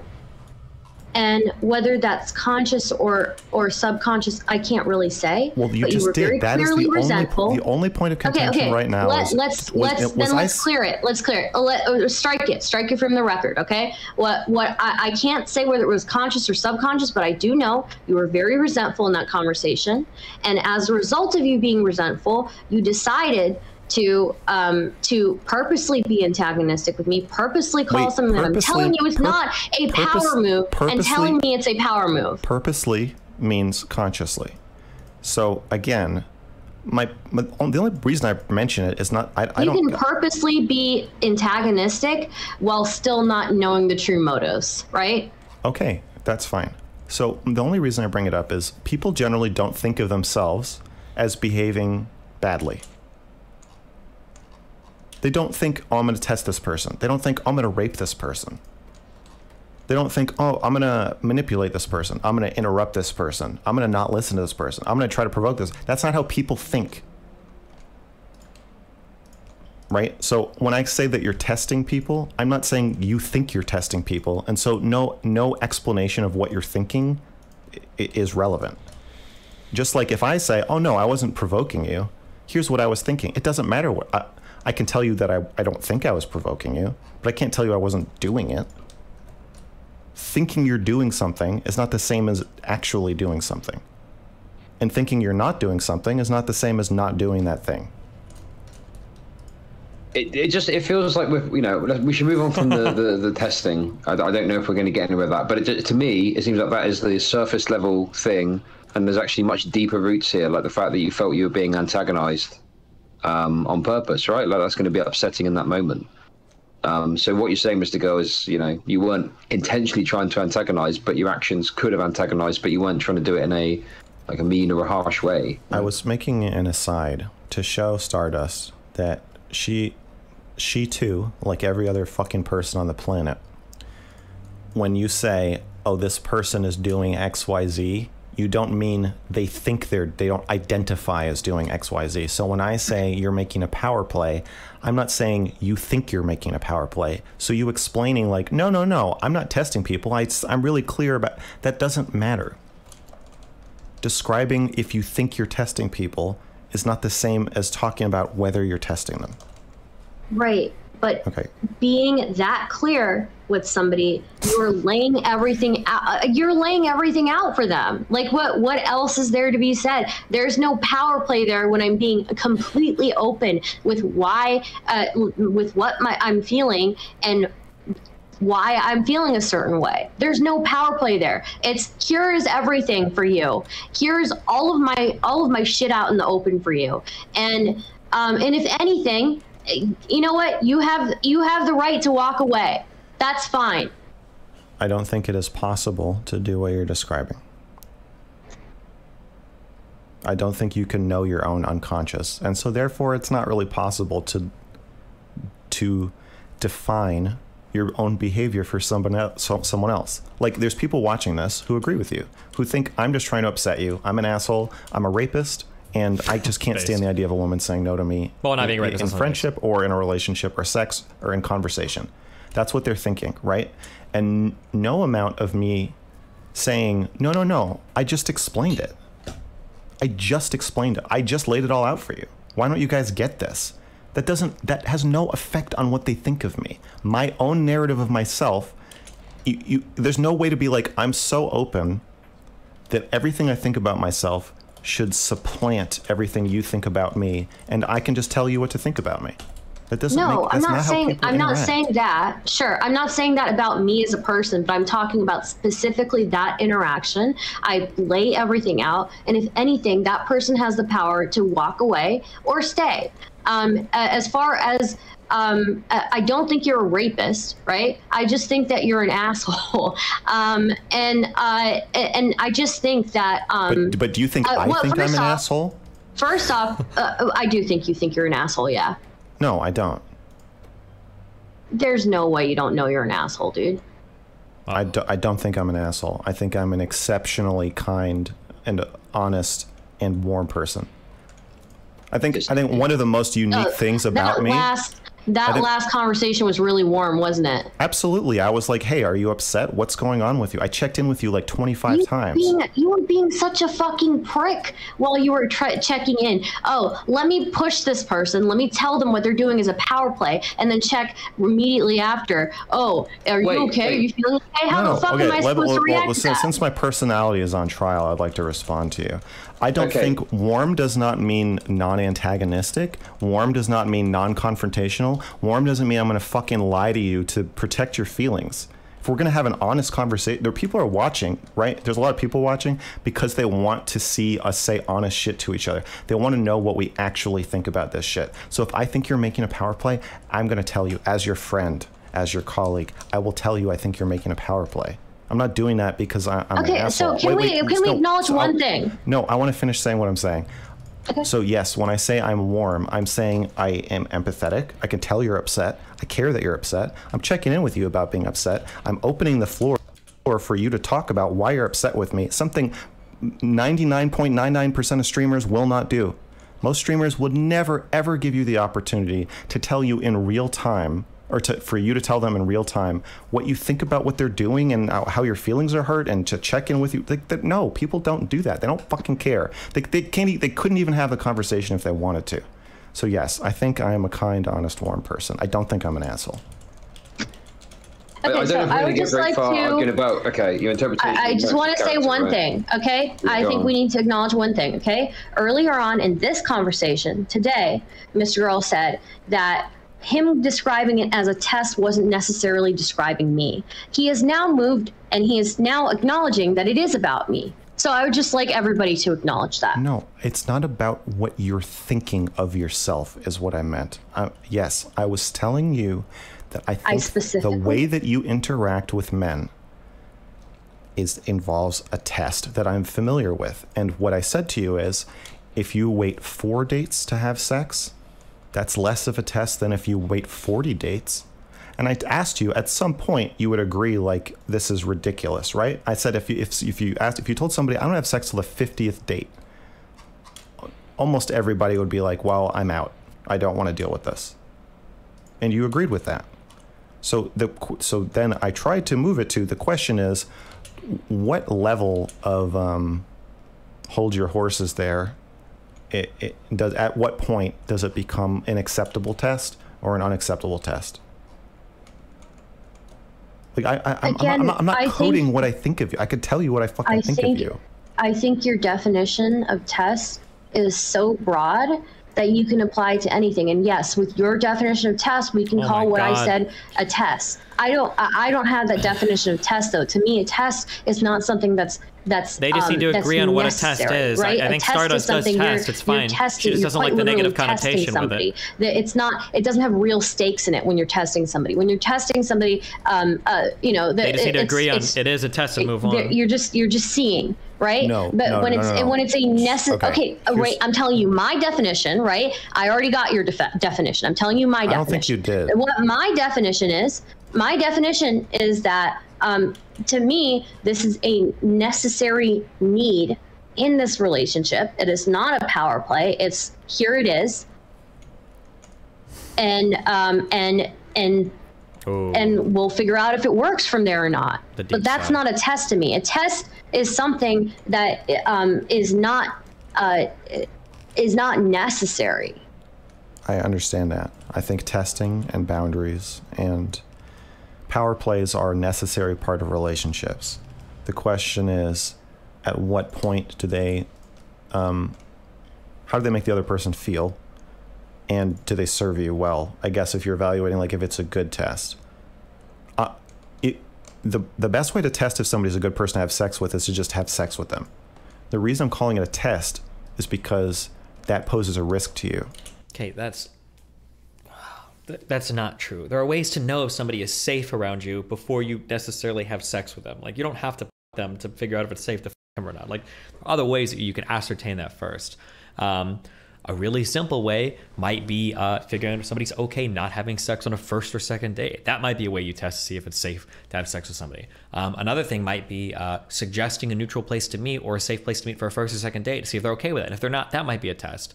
Um, there's like there are ways to test without like having to actually do the thing, but maybe I'm being unnecessarily pedantic. To be fair to him, he said the best way. No, that's not true. That is not the best because best implies a result with a certain trade off. Like the best way to know if an airplane will fly is to just fly it, right? I mean, that's kind of true, but there are tests that you can do beforehand before an airplane ever even gets to the air, before an airplane ever gets to a runway to see if it'll actually fly or not, right? It's not like you would just go to the most extreme thing. Like you, you would take stages. In fact, you'd probably argue that's not the best way. The best way isn't to do the actual thing first, right? He didn't say safe, he said best. Best usually involves safe, you moron. What's the best way to have sex with somebody? Like the best way to have sex with somebody would be would be for me to run outside and find the weakest person I can see and get my dick inside of them as quickly as possible. That's the best way. Like nobody uses best like that. What are you talking about? So instead of emotionally jumping in and seeing what happens, like dating itself is a test. You don't you don't just move in with a person or marry them. You test them out for a while. You but you're you, what you're what you're doing is another step removed back from that of like I feel like something bad might happen if I had sex with you. So we're going to delay until I get a stronger sense that that's not the case. And everybody does that. But you clearly you are doing it more than most people in our age group. Right? Uh the the test the delay of sex? Uh, maybe a little bit more. Because in my experience, since I since turning thirty, pretty much every person I've ever dated is like, well, like we yeah we talk for like two or three hours, and I've decided if I want to have sex with you or not. So I just want to ask something important here because I think we one other problem is Stardust, it seems like you see like a like a power move or whatever is a bad thing. But Mr. Girl, you just said you see it as an essential part of a relationship. So there's one issue here that you know you see it as like Mr. Girl as a morally neutral thing potentially, but Stardust sees it as a bad thing, right? It's, and maybe that's causing the issue. It's a power play is is is intentional in my head. A power play is intentional. I don't um, think, okay. I didn't mean I didn't mean. That and a power play, a power is play. also also unnecessary. Power play is also something that's unnecessary. Um, I am calling this a power play because I find it annoying. Oh my god! And because um, I uh, I think it's unreasonable. But that doesn't. Do you mean think it's bad? Yeah. Unreasonable. Yeah. I think it's bad. Well, I don't think all. Okay, there you could you could do something unreasonable. you could do something and then call something reasonable and or something I think is reasonable and still technically make it a power play. The reason I'm using the word power play, yes, is obviously pejorative, and I'm saying that I have a negative reaction to. But you said it's part of a relationship, so how can it be a pejorative when you say it's also part of a relationship? Um,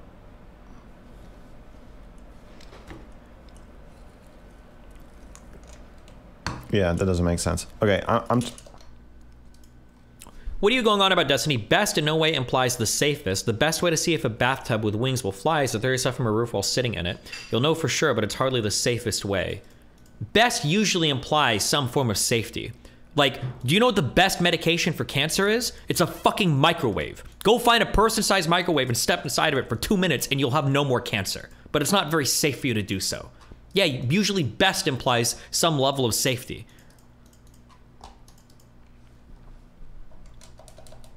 I'm saying that um,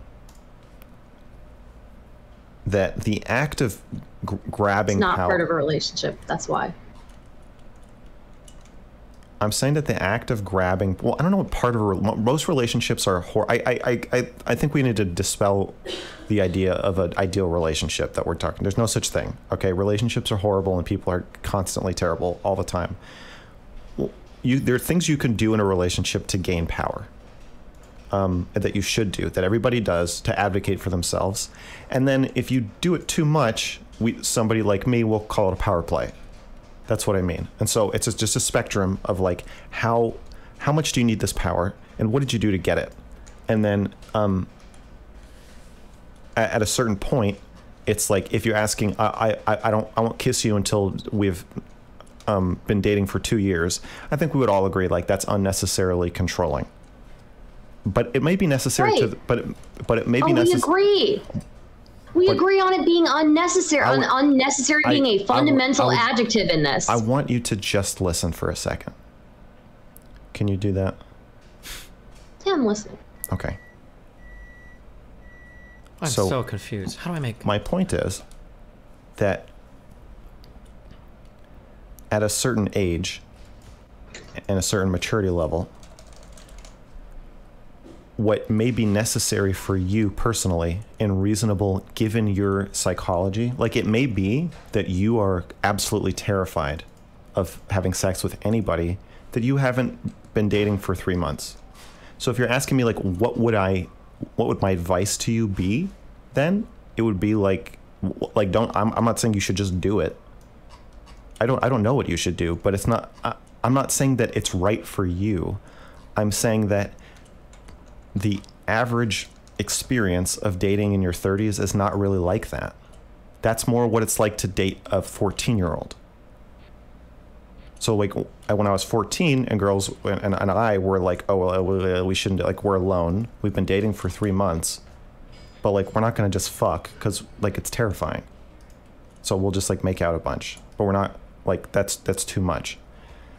Um, that feeling that feels very like middle school or high school to me. I'm not saying that you should just force yourself to, but I'm saying the experience of it for me, especially when it's it's like politicized, it, it feels it's it's because I'm a man. It's as I said, a very male experience um, in this country of like being being being told like, well, you might you might be a horrible person, so I can't. I want to have sex with you, but I need to. We need to wait to see if you're a fucking piece of shit. Do we want to compare this to other countries?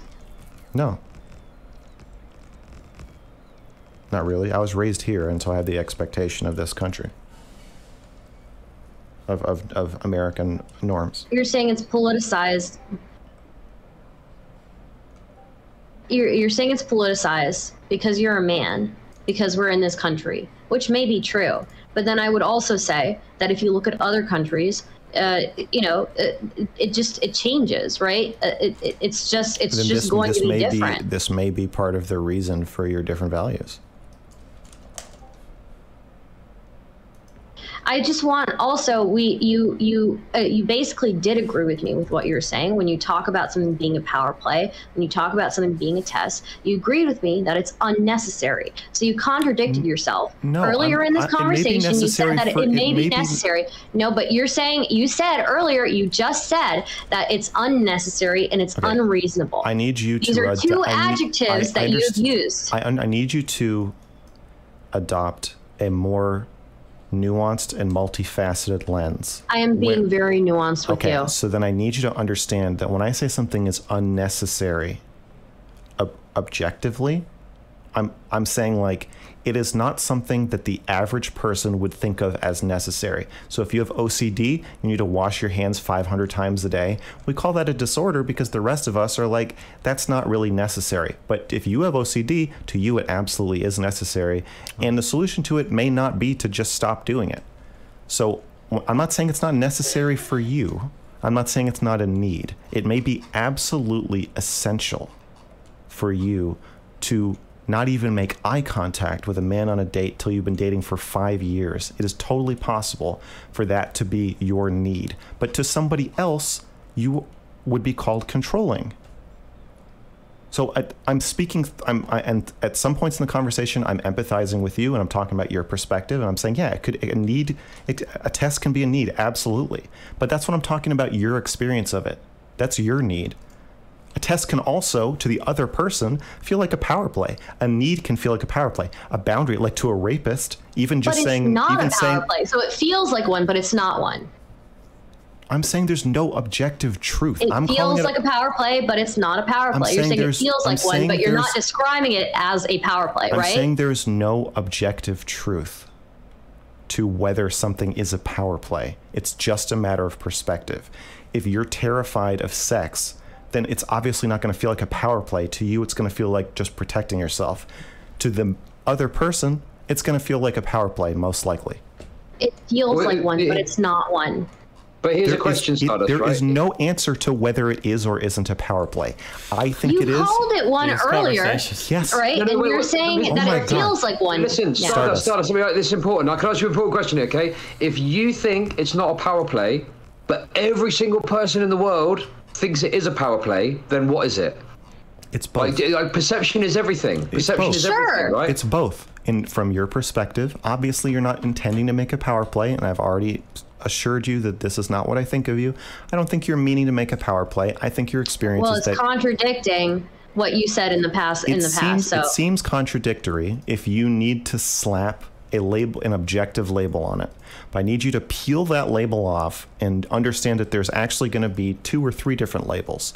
There's going to be your internal label of your narrative of yourself, in which case you're obviously not going to label your own behavior a power play. Maybe after the fact, but while you're doing it, it's very unlikely. Especially something you intend to keep doing, you don't think it's a power play. And given how you feel, which I assume is absolutely terrified, then I assume I think that's a good way to think of yourself. However, you should be aware that to the people, the other person in this scenario, they very likely are going to label it as a power, play. power play. play very a power play includes the intentionality. No, it doesn't. It does. It doesn't. What is a power play? A power play, it, it, it, the, by definition, includes it the doesn't. intention No, it to. doesn't. Te- It doesn't. Most people we your, think your again, your your definition of power play is as broad as your definition of test. Then people we think of as controlling assholes do not think of themselves that way. If you have big, We big just proved it disagreements just now. over You tried like get me to definitions, you that just I'm an ask like, asshole. well, what do you I define I'm a as really a power nice play or person. whatever? I think you just ask that just to get it out of the way because it like I think you can be a nice person, but I also No, think that no, you have a very abrasive side to you. I think I am a nice person. I don't think I'm an asshole. You think that. Assholes don't walk around thinking of themselves as assholes. tell us who's right. Yeah, well, of they course. just they're communicating past each Okay, other, so great. it doesn't even. So, pe- so like, people who make power plays do not think of themselves as people who make power plays. There's still an intentionality in power play, whether you I don't whether agree. I uh, just- I whether just- no, I- that you- whether you think The, the the thought behind a power play can can can be I want to feel safe. don't think Absolutely. so. Okay, that's fine. Then maybe we're just using the word differently. But there's Okay, no. so- my, my, my point is that you, in order to understand what I'm talking about, you would need to be, and I think you don't want to do this because you, it seems to make you feel violated, but you would need to be able to hold your perspective that this is a need and a reasonable thing for you to do, and my perspective that it's a manipulative power play and a test that you shouldn't be doing at the same time. And I think it's very uncomfortable for you to do that. So you're kind of flip flopping between the two, and that's why we're, we're you're not going to get. if we're any talking res- about like a you're- if you're we're not- talking about a mentally any- deranged person, you're not going to get any resolution on what I actually think. Somebody breaking into your car so they can steal money to feed their kids is not thinking of themselves at the way that you're going to think of them when you find your car window broken. You need to be able to hold both Wow. in your yeah mind. i can i can hold that but but um, power can. play a power play again power play is very different from like the person breaking into your into your car because they they need money to Well, eat, you don't you don't think about why the person broke into your car. You just think some fucking asshole broke into my car. What's happening to this city? What fucking scum stole my shit? okay somebody thinking something is a power play does not mean that it is a power play But the person doesn't think of themselves as scum who steals shit. They think of themselves as a poor person who needs money. yeah and they may not be scum they may not no be one scum no one is scum, oh Stardust. it's a question of perspective. Perspective, yeah. If you don't ever see the person, you don't have to Right, look in their eyes. no, you don't have to look into their kids' eyes. Of course, they're going to be scum to you because all, There's- the, all you know can- about them is that they did this fucking annoying thing. Which is why I'm saying we I don't. can I don't look think at this. people I don't think and this. objectively say that they're scum right i think we no, can do that No, we can't. Yeah, I think no, we can- We can't. we can- that is that is yeah. that fucking is insane. that is- Absolutely fucking not. That you're mental. You're That is a- that fucking is a- insane. let me let me explain. Let me disgusting explain. anti-human Let me explain. statement. No. Okay, all right, all right. Somebody who no? who um who rapes and murders a daughter and a, a mother and a daughter, I think we can say is probably No. scum. Well, I We think can't. that's kind of based. No, we can't. you think it's kind of base. No, we can't call them scum. I think we can. No, kind. You somebody, can. if You somebody, can. Give me a if somebody rapes okay. and kills Right, you're a- fucking a mother and her daughter. Okay, this is what happens when you let women on the internet. Okay, Uh, let me ask you this: Give me a definition. No, of you- scum you know, that includes actually, you know every- what- what- No, listen how- to how me. about- how Give me a this? Definition of you- scum. Give Okay. no, give me a definition of scum that includes everyone that's scum and excludes everyone that isn't. Go. No, I can't give a definition of scum, but I think we can objectively look at specific actions and say How that's can you scummy objectively- behavior. How can you objectively do it if you can't even scummy fucking say what it Wait, is? scummy behavior is different from scum. We can't say whether anybody is scum or not, or no good Yeah, or if somebody people. has a pattern of scummy behavior, then yeah, maybe they are scum. Okay, that's But fine. you if don't even that's, know what you that's, can't even you can't even explain what it means. That's the that's, problem. that's fine. That's, you, that's that- not not that's not is it? that's not the problem. The problem is that definitions of the like that when you put a label on somebody, it's a little bit more complicated. They people have to have a a uh, a a pattern of behavior, right, Okay. to really fall into cer- specific labels. Something as as extreme as calling somebody scum, right? Okay, I you have think- to have a pattern of behavior to get, and most people are not scum. It's going to be like uh, 0.0001 percent of of anybody. okay, I think that your perspective is um, So you're f- retarded, okay? Chud, shut the f- up. Okay, sorry, continue. No, I'm not. Reti- okay, go on. okay. I think that I'll, let, I'll let you have that one. I think this system of labeling scum and not labeling scum, I think you'll notice if you examine it that um, the closer you are to someone, the less likely you are to label them scum. Sure. So if one of my best friends killed a mother and her daughter and raped them beforehand, I, w- I would absolutely be prepared to see every single person in the country on social media calling them scum. But would I call them scum? Probably not. Okay, I don't know where we're at in the plot here. When we say scum, we mean like bad person, right? A bad person is probably something that we can come to an agreement on. A bad person is probably somebody that makes immoral choices. The implication being that they are a free agent, meaning they're somebody that can choose, and they're not being forced to choose to do one thing or another. So somebody that has the ability to choose otherwise, but continues to make bad choices or immoral choices, we'd probably say is like a scummy person. And if those choices are of a certain gravity, we might even say that person is scum. I think it's probably like an okay. I think we, I think we can agree on that. We can we should be able to say that there are some people that are like bad people, right? Now maybe now whether you want to have a deeper conversation as well, is a person fully bad or how deterministic is the world such that blah blah blah. Like sure, that's a conversation. Brovs. These things are I don't know what I'm supposed to do with these guys. They keep encroaching on my territory. I, I probably wouldn't think of them as scum. I would think of I would think like uh, uh, Jesus Christ, why didn't you what, what what what were you thinking? How could you do this? Why didn't you tell me you needed help? Me of all people. How could you keep that you want to do these horrible things? Like that's how I would be thinking of them. I would think of them as as like a a, a, a broken, twisted, fucked up person, but not scum. I would I would never dismiss. You wouldn't dismiss somebody like that. And you'll notice when we first met, you talked to me. We had an intimate conversation. Oh, wait, hold on. There's a possibility that the closing of Kanye West's bank story is more complicated. Ye, or yay, it's yay, right? Been trying to move his money from JP Morgan, so this ain't new, just the timing. On CNBC right now, Kanye West just said he's moving his money from JP Morgan to Bank of America, possibly because Jamie Dimon never called him after he deposited 140 million at the bank. Oh shit. Maybe there's some weird shit going on.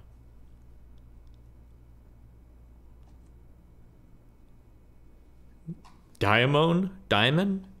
I don't know to pronounce this dude's fucking name.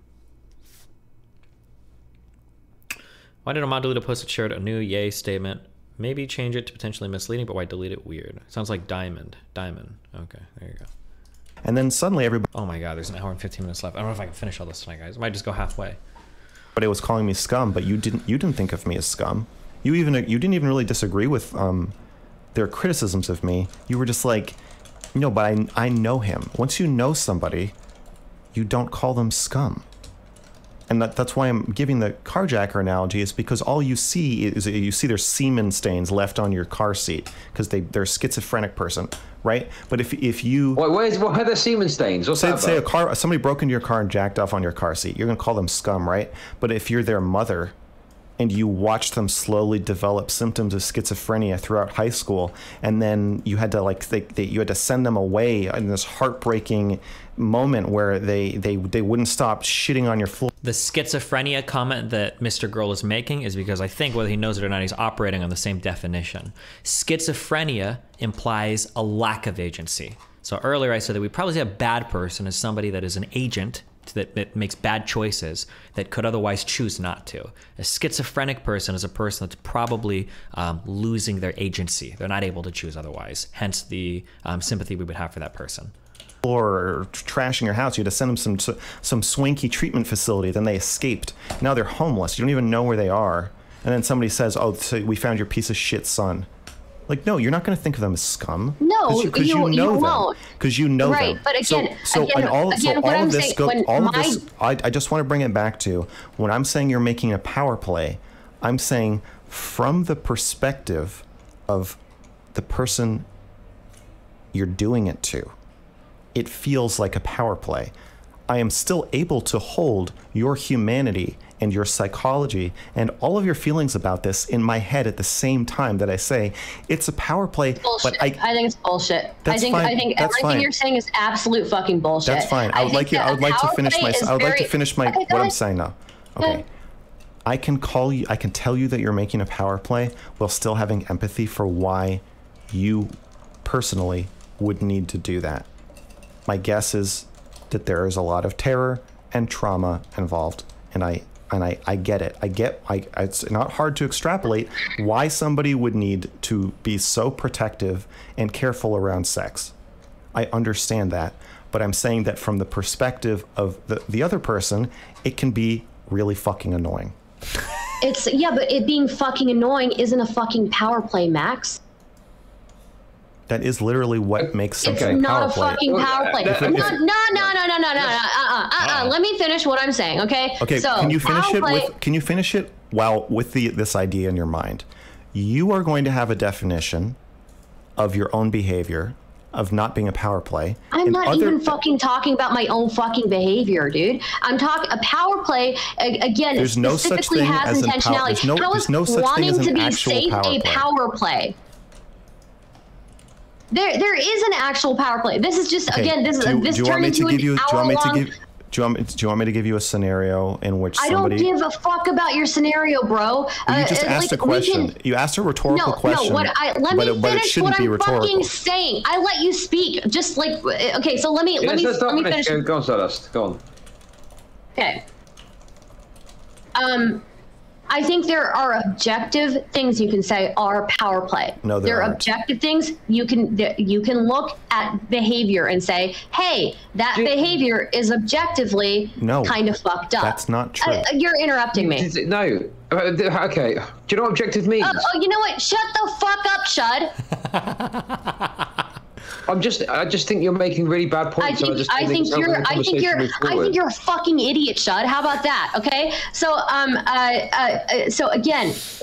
There are specific things that people do. If somebody calls you the N word and says it with vitriol, you can say, hey, they did something that uh, objectively seems pretty racist, right? They, they're calling you the N word uh, uh, with vitriol. They're saying it, they don't know you. Objectively, you know that that is a racist thing. They have committed a racist action, That's a, right? that's a that's a tautological Objectively. that's a tautological definition. Calling someone the N word is most people's definition of racist. So yes. However, when you're reading into how to evaluate their motivations for doing so, there are again their uh, motivations uh, regardless we know that that that that um uh like the motivation there was specifically uh, if they're saying it with vitriol, if they're saying, if they're calling you the N word with Yes, vitriol okay. and you are a person of color, you know that the intentionality is there. the, but the word power play implies a moral or um, usefulness evaluation made on the part of the person using the word, where racist doesn't really. Calling someone the N word with vitriol is tautologically, definitionally racist. Whether something's a power play depends on the evaluation of the speaker. The person who's labeling it a power play has to evaluate. Well, how much? how, so. Again, I think there are specific actions you can look at. You can look at the intentionality and the circumstances around that action and specifically label it something objectively. You can label some things some things, yes, but power play specifically I think you can do the same thing with power play. power play specifically means that the person using the word has made an evaluation that the maneuver is unreasonably power grabby. So if you so if somebody says, "Hey, can I can I have sex with you right now?" So and you again, say- unreasonable. if if you say, "Can someone says can I have Can you sex explain with what you they're now?" saying? I don't think anybody. The problem is they're like, they're just ultra super hung up on these like definitions, and that's that's that's it. That's really it. They're just ultra super hung up on these definitions. and you say no, most people are not going to look at that interaction and think of call it a power play. If if you say, "Can I have sex with you in the next 3 weeks?" and you've been dating the person for several months and you say no, at that point people are going to be like, "Well, that, now that is a power play." Like you you you just will never have sex. Like why are you even in a relationship in the first place? That's when you'll you'll start you people if you tell people that story, they'll be like, I don't know if you should be with this person. I don't even know if they like you. I don't know what's going on, but that seems that's weird. That's not good. If, so if you if you say, "Can I have a There hug?" are- and your partner says, "I want space," like you can't have a hug right now. Is that a power play? To some people, yes. To some people, no. If you say, "Can I have a hug ever?" and your partner says, "I don't know," we'll see. Most people then are going to. I, I see you opening your mouth, Chud. Shut the fuck up. I don't want to hear a word out of you. So I'm trying to demonstrate to you that power play is not like the term racist. It implies an evaluation of the whole situation, the relationship, and in, in including the context. If we were in a different country, like if I went to Japan, I assume that there are more people like you in Japan than people like me. I assume this is a more more of a cultural norm to be like, oh, I know we shouldn't. I don't want to. Even when you're 30, even when you're 40, even when you're 50. And so it Poor probably child. would, wouldn't make as much sense to call it a power play there because it'd be like, well, this is just how it is. Bro, these material testing packs are killing me. A lot of people in my chat are asking you to step on them, Stardust. How do you feel about that? Uh, I'm not interested. What did I tell you about talking? My apologies. Continue with your amazing points. Okay, four thousand. Is that sarcasm? No, a British person being sarcastic? Absolutely no way. Okay, so if you're being sarcastic, you can just leave the fucking call. Like I, I'm, I'm not interested. Oh no. Jesus. Instead of ex- I'm just instead trying to have the conversation move forward. Okay, you can, you're based on the three months of silence from you. I'm. I don't think that you are emotionally or psychologically ready to have a debate about this. Jesus Christ! I think what you should have done is, as soon as you realized it was going to make you flip out, is you should have been like, you know what, I can't really handle talking about this, Oh, and that would no. be absolutely a respectable thing to do. What's not respectable is for you to destroy our friendship because you are forcing yourself to do something, ironically, that you actually don't want to do. You don't No, want to. You don't want to have this debate. I'm It's too- fine with like- us having uh, our conversation, but I, It doesn't again, seem like it. I would, It's- I would, why the I would fuck did you stop talking to me for three months? Obviously, this topic is traumatic for you, I- and you can't talk I- about it. I, I, it's not that I stopped talking to you. It's just I didn't, I didn't really make too much of an effort. I still, No, when we I, re- I, I interacted, asked. I asked you to talk about this several times and to try to repair our relationship, and you just either didn't respond. and. I was busy. Okay, fine. Maybe you're too busy to be friends, or maybe this topic is too traumatic for you, and you shouldn't fucking be debating about it online.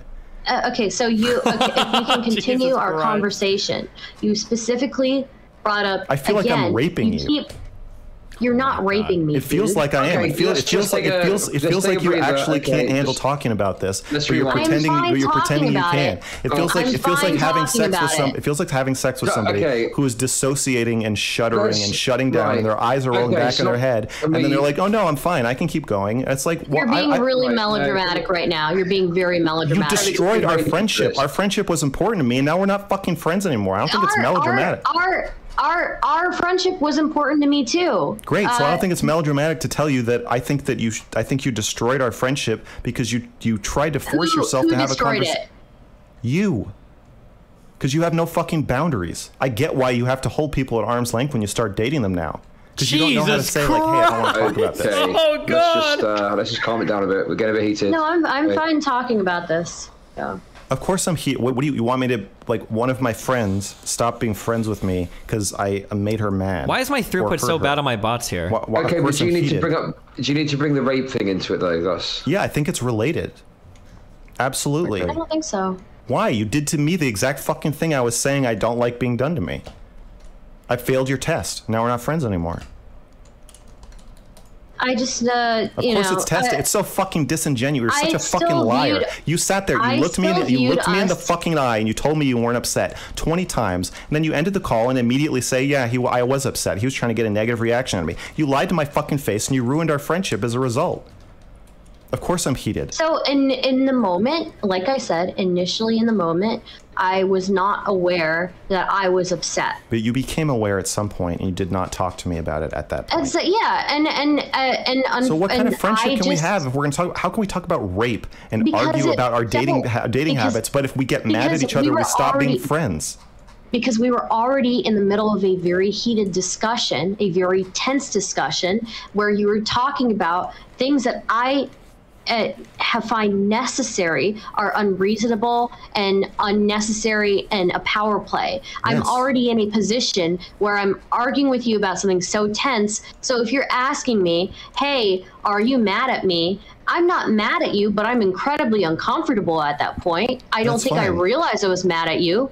Okay, then you could have said you're uncomfortable. I'm saying you could have said any of this at any point. So the reason Right, I'm heated, the reason I'm heated I'm- right now is that you did not do that. Yeah, I, I didn't know what my, my feelings were completely at that point in That's time. fine, but that's not my fault. so I want you to look me in the eye, look fine. me look me in the eye and tell me that you think if you told if you knew how you felt and you told me how I felt, tell me you think that I would have just kept pushing on. Um, no, I don't. I you know, if if I knew how I felt and if I knew I was that uncomfortable, We would have and I talked about told it. you I was, yeah, we would have probably talked about. I would have I would have in some other empathized with you. I probably would have even Yeah. taken care of you. I would have helped lead the That's, conversation to well, that's place. fucking gay, and I don't need you to take care of me. But okay, yeah, go. Somebody should. And you didn't. and now you're saying I wrecked our friendship when, by your own admission, if you had been more attuned to your own feelings, set boundaries like you should have, and talked about your feelings like you were invited to multiple times, this wouldn't have happened. So I don't think it's my fault. You know, I tried to be as honest as possible with you during that conversation. And just because I don't know my exact feelings in that point in time doesn't mean that either one of us is at fault. I wasn't It certainly doesn't mean I'm at fault. I mean, I wasn't blaming you for our relationship fall, You falling are. You apart. were, you were blaming me because you said I in the conversation I'm trying to make you have a negative emotional reaction. I I'm- do think that you no, were trying I'm not. to make me I'm have just a trying to negative not. I'm just trying to not be controlled and silenced by somebody who is signaling that they're uncomfortable, but who won't say it. I got a lot of flack from my own audience after that. A lot of people were like, "You could tell she was upset." Like, yeah, that's why I asked her if she's upset. But apparently, according to most people, it is the job of the man to determine your I unconscious was feelings. not aware. I know to determine your unconscious feelings and then make a decision for you about whether or not you consent to an interaction. I don't think you. I don't think you need to make no, a decision absolutely for me. fu- great. So that I didn't. So I just said, okay, well then I guess Yeah, we keep talking. so that's fine. I checked in with you and I That's said, fine. okay. We kept I get- talking. yeah, we, kept, talking, but and I then you stopped, and then you stopped, fucking. But and that's stopped not speaking the to me for issue three here. months as a That's result. not the issue here. The issue Okay. is I took issue with you calling something that is necessary for me as unreasonable, a power play, and unnecessary. Okay, yeah, I don't. Uh, There's not- no intentionality okay, behind what me- I'm doing. Let me let me to- tell you it be a something. power play. Let me tell you something about the Mr. Girl friendship experience. If you think that being my friend means that if you describe something as necessary to you, then it is unassailable. And I'm not going to say, well, this is controlling behavior. You're being possibly abusive. What if it's necessary for you to hit your partner? You want me to tell you, oh, well, if, if you say it's necessary, not. if, if you really if you really lose your shit, Wait, you wait, do, wait a you- second. what if it's necessary for between you to cheat? What if it's necessary for you to steal or Okay, but there's, pathologically there's lie? that and what Wait. Stardust is saying. Come on, I, that's about I want to finish. I want to Yeah, finish what I'm really saying. fucking- I want to finish what I'm saying. The idea that something being or feeling, because it's not, it's not actually necessary, right? Like, This is this is a feeling. It's the word necessary in this case is used to mean I am very very uncomfortable with this thing, and so this is how I'm going to behave. It's a need. We can call it that, but it's not. It's not literally like it's not like food or air or water. The idea that if you describe something as a need, then therefore I'm not going to give you any negative feedback about it, then yeah, don't be my friend. You can you you know what you can give negative feedback on it, but then I still am entitled. I am still entitled to tell you that I think you're fucking wrong, and I think I think it, I think you're a fucking wreck of a human being if you think that something like that is a power play. That's fine. You could tell me that, and I would still be friends with you. But you didn't. Instead, you ditched me. You, uh, you are you are uh, so quick to look for somebody to blame in this situation when that doesn't need to be the case. No, once again, I have empathy for you. I understand that this is like a big. I am invisible... not blaming. I am I not understand that. blaming you I know. Well, you did for blame- you- our you- friendship falling apart. I just think that you're fucking wrong. I know you. You. You're not blaming me. You're just saying I'm a wreck of a human being. You're not, Jeez. an asshole. Well, I think. But you're not blaming I, me. I mean, I, I have empathy for you, Stardust. I understand that this I'm is friends an with lots of. I'm friends with lots of assholes. You are not the only okay. one. I understand. We've got another one in the call with us right now. So I understand that this is an invisible wall for you that you, that we ran into, and that you didn't see it coming. You didn't know it was there, and I don't even think you knew we ran into it until weeks later. Oh, I have no. empathy for you. I, I think I even understand why it's there. I think I can probably guess why it's there. So I'm not. I'm not. I'm not. just classic blaming empath you. Strategy. again, I have your perspective in I'm mind. sorry, he's gonna get mad at But my perspective But is you are blaming me. no. I'm not. My per, my perspective is that This you went immediately to blame. my this really did. My perspective is that you ditched me, and I'm very angry at you about it. Sorry for ditching you.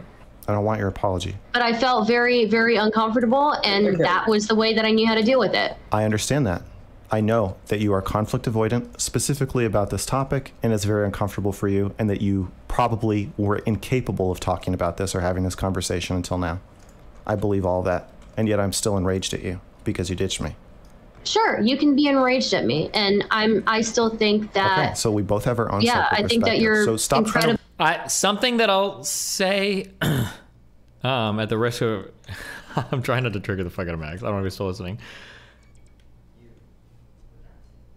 I I don't think it's ever good to use, or let me. I'll phrase this in a negative way towards myself. If I'm using psych terms at somebody in a personal conversation, it's usually because I'm just trying to trigger the fuck out of them. like usually, once we've started bringing out the psych terms, that conversation is uh is over. It's fucked. Um, I think when you start in on like diagnosing somebody, like you're conflict avoidant, you're blah blah blah. Like I think that you kind of like you've destroyed you've destroyed the ability to like progress anymore in the conversation because you're essentially saying like you're so fucking retarded you don't even understand yourself as well as I understand you and I'm shutting this down for you because you're so stupid. It's kind of what it, I think is the feeling um, that most people would probably have. Probably- Stop trying to replace my perspective with yours, and either uh, I'm not trying to replace your then, then fucking empathize with me and listen to me, or just stop responding. I'm not saying that's what he's doing. I'm just saying I think that's what most people will feel like. That's what I would feel like. And I think I understand that a lot of people would feel like that. So like if if I'm ever doing that in a convo, I mean Melina can tell you.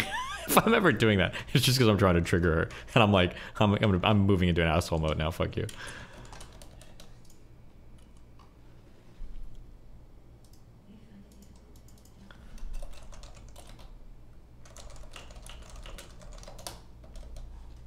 responding to it. I think that it's ridiculous to think that That's not uh, empathetic. again. Uh, I I can be empathetic towards a whole lot of things, but when something is being an angry actual need, when something is an actual need, You lost I- empathy. yes, you lose Oh, uh, empathy. This- you- the topic could- is so triggering that you can't use- be empathetic. we could use the same opposite uh, opposite interaction right somebody says i i need time i'm really interested in you but i need time and that person decides to push that boundary regardless right that itself could be a test is that not a test Sure.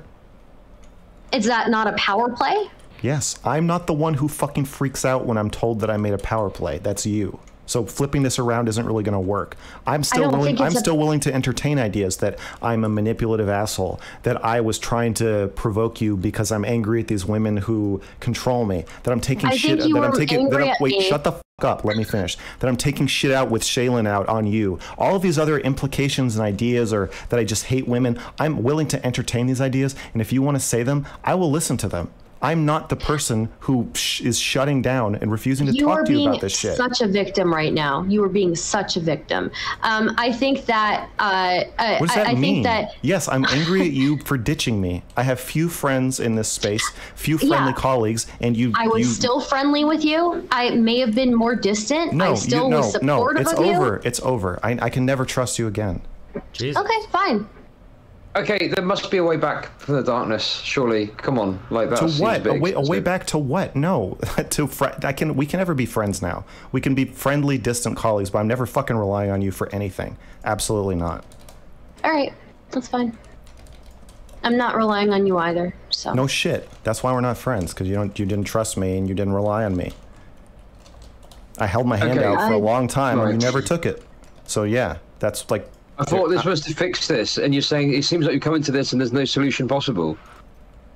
So what's if, the point if of that? this is where Stardust is after three months, then no. Why would I want to? Why? What, what do I get out of a friendship like? So yeah, maybe uh, maybe in I'm five being years. so honest to you, and this is like I, I feel like I'm being incredibly honest with you about how I'm feeling now, and you're just you're yeah. I mean, I get it. You're upset at me for ditching you, but I'm trying to be as honest as possible with no, you. you. I, I told And, you that uh, you ditched me, and you said you're such a victim. No, you're you're you're you're absolutely unempathetic. You're, you to- are you're totally. being a victim. That's fine. You can laugh at me and call me a victim, but that's why we're not friends anymore. Next time, if you're wondering a few years down the line, hey, how come I'm not friends with Max anymore? Take this fucking moment and play it back in your mind. When I told you that you ditched me, I told you I was hurt. I came to you vulnerable and honest, and you laughed at me and called me a victim. Okay, I'm sorry for hurting you. Um, I don't want I'm- your apology. I sorry want your empathy, but you don't have Fuck, it. what's the song? Mm, Okay, Not from me. I- not Bury me, topic. bury me. I understand Fuck, that this there's a meme is there. Like a, it, uh, when we talk about this topic, big red lights start flashing I in your brain, it. and you Somebody find it. There'll be a way to do it, okay? probably can't empathize with me. But th- then what you should do if you want to have I friends, said, carry me, carry me. you should probably tell them not to give you feedback about this because you can't handle it and you will torch the relationship if, if you hear anything you don't like. That was it. Yeah, I Um, know, but I missed think the moment. we had a very lengthy discussion last time we talked about this topic. I think that's an indicator that I can have a conversation about this. Um, and I was just uncomfortable. Um, again, I think We had a looping that conversation that went nowhere because you can't handle We talking did. about it. Yes. we, well, we had a looping conversation because we just have fundamental differences on That's our not a reason to loop. We can have fundamental That is- differences. You could have just said, okay, I get why you're saying it's a test. Do you get why I'm saying it's not? And I would say yes. Uh, but see, you weren't even at that point either. Absolutely, I was. I'm. I, my my you problem. were not. My problem you wasn't were not. that. I specifically said so many times during that conversation that this may be a test. This may be a test based on what other people do um, by by certain definitions, maybe. But like uh, for That's me, not the same it was thing I'm that. saying. I'm saying that you were not capable of or interested in acknowledging that I have a perspective and that internally, given my psychology and how I feel, my my perspective makes sense to me. So the way to get past an impasse like that is you say, okay, I get why you're not calling it a test. I understand it's a need for you, but do you understand from the other perspective why it does feel like a power play? And then you'd say yes, and then we'd fucking move on. But you're not you're not able to do that because you find it very threatening. I think that it Your, is your hold on your ability to say no to sex is so fucking tenuous that you can't acknowledge any perspective that might call it a power play or manipulative or controlling at all because I think you feel like then you just you you you won't be able to say no. But I Um, think you have I- every right to say no to sex even if every other person on the planet gets together and votes and says Stardust shouldn't be able to say no to sex. Stardust has to have sex. I think you should still be able to say no. I think that is your your right and your boundary that you should hold for yourself no matter what anybody ever says to you. okay. I mean, was there anything that could have happened here that would have actually fixed this? It sounds like it was over before it started. Yes, you already said that and I already responded. Yes. No, but what, what specifically? Oh, you mean if, if she Well, just I- said, I- what, you know, she what should Stardust have said if she wanted to be friends with me? She should have come on the call and said, like, listen, before we start talking, I want to acknowledge that I've been avoiding this conversation for a long time. You reached out to me several times, and I basically ditched you, and I don't even know if we're friends anymore. But I really want to make this work, and I really want to figure this out. I don't, I don't want an apology, but an acknowledgement that like you, you completely withdrew from me, and uh, and also that I did it at a time when you needed a friend. Damn. I see that now. But I couldn't handle it. I couldn't handle the last conversation. You're right. I was upset. I didn't say I was upset. And I did say it afterward. I said it publicly behind your back, but I haven't been ready to have this conversation with you to your face. It's something I'm working on. And then either A, I'm ready to have it now, or B, you know what I've learned about myself? I can't talk about this. I cannot talk about this, especially in front of an audience, and especially with somebody who's going to be as forceful and aggressive with their opinions as you are. It's not a good idea for me to do this. So, in order to protect myself and to preserve our friendship, what's left of it, I would like to rebuild, but I, I can't talk about this with you. I can't just casually debate consent. I've learned this about myself, Jesus. not with you. Um, Okay, so That's what I she think should- that that's what there's she a. would've.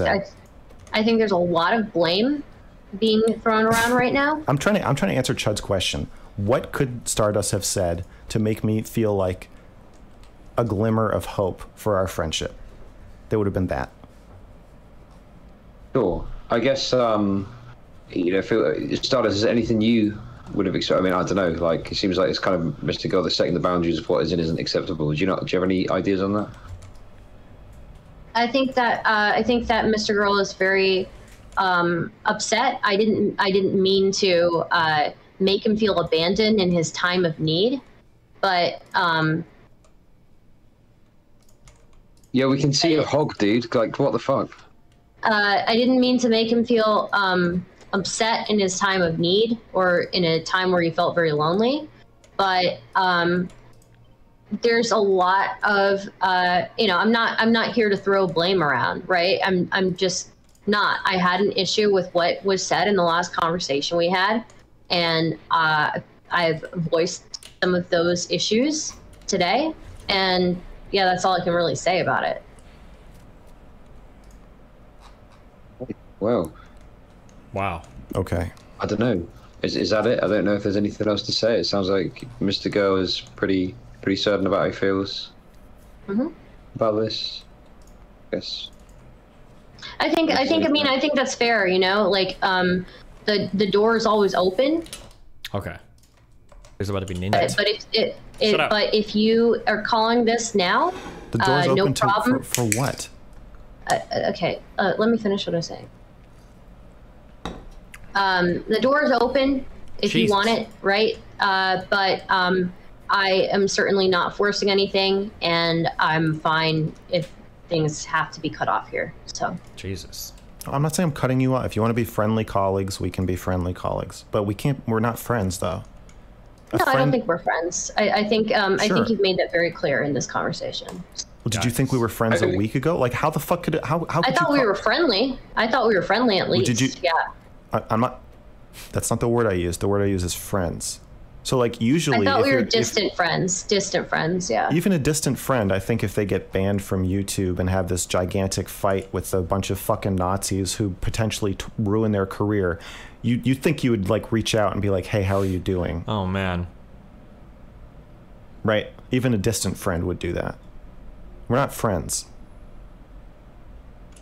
Any any any semblance of what a friend would do has been overshadowed by this conversation. And now you're going around uh, right now in public saying that it's not overshadowed by y- y- this conversation being too triggering for you. No, suddenly your entire perspective on me as a person has 180'd. Now, it's now our friendship and your ability to to be there for me is overshadowed or even respond to my DMs is overshadowed by me trying to hurt you. It's not that the topic is too triggering and you're unaware of your own fucking feelings about it. It's that I am trying to hurt you. That's why Uh, we're not okay. friends. That doesn't make any fucking So- sense. How can you possibly how could you possibly can call me a distant friend when this is how you act? I um okay, so when I talked about this in public, um, I talked about how things are weird between the two of us. Um, and uh, I don't think I put all of these uh, uh, things that you're saying on it. You made a thumbnail um, immediately saying that the the asking if the bridge was burned. You didn't respond to my DMs, and like I said, when I very publicly had this had this clickbait. had this absolutely awful thing happen to me, you did not reach out. Um. Okay. So that to, I, there's no definition of friendship that I have that that meets. Sure. Sure. I, I, you're, you're saying it meets yours? Um. I mean, I I can't really say like uh I can't really say because I I mean I felt bad for you and I said that it was wrong, right? But um but I don't know. I guess we, we were just distant, you know. It just didn't feel like it just. Okay, don't listen. you don't let's answer the address the elephant. In. Do you think that I'm you've not been sure a, what the. Do you think that you have been a friend to me for the last three months? I think I think again I considered you a distant friend. I didn't consider you a close friend. Okay, I'll stop asking, since you're not going to answer. Ooh. Okay, here's my question, right? Because I do like, what's what's the reason you didn't reach out when Max was going through all that terrible shit? Um, I Uh oh. I Careful. um I, I just figured I would voice support for him, and I thought that that was appropriate. Um, voicing support, um, and I thought that it was wrong. Um, it, like Wait, you sorry. know, so you, thought- you did tweet about it, right? You tweeted about it, correct? I, I tweeted and I, and I sp- said stuff on my stream and stuff, but I didn't reach out to him Okay. personally. Yeah. So I, I just felt like you know we that was kind of the stage where I was at with it. That's pretty much it. I didn't really think. Okay, someone in the that. chat is saying Stardust never thought of Mr. Girl as a real friend. Is that true? That's not true. Okay. So let's let's put that to rest. People are saying Mr. Girl is always so so much more involved in his friendship, emotionally involved in relationships with people than the other person is. That's not true. I, I thought that you were one of my closest, if not my closest friend, creator, content creator friend uh, online. Okay. I'm, I'm just, you know, like, I, I guess the thing is, in mine, but based on what you said, it seemed like the Stardust didn't even mention it, but she did at least like tweet about it, right? So even if she felt uncomfortable talking to you directly, at least she said something to kind of show support for you. That's something. Well, that yeah, and I- and I do. con- That's not, surely. I don't know. I don't. I And I, don't. and I mean, I, have a lot of. I have a, on I have a lot but, of friends, You know, and um, most of them don't tweet about me, Ooh. Burn sick. but all of them asked me how I was doing.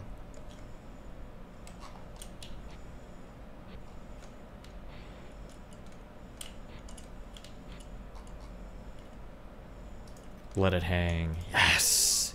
Yes. I Chud Logic did. Okay, We talk. We don't, talk. We uh, talk often Did you? I think I did. about how both of us Yeah. are doing. Like fucking friends do.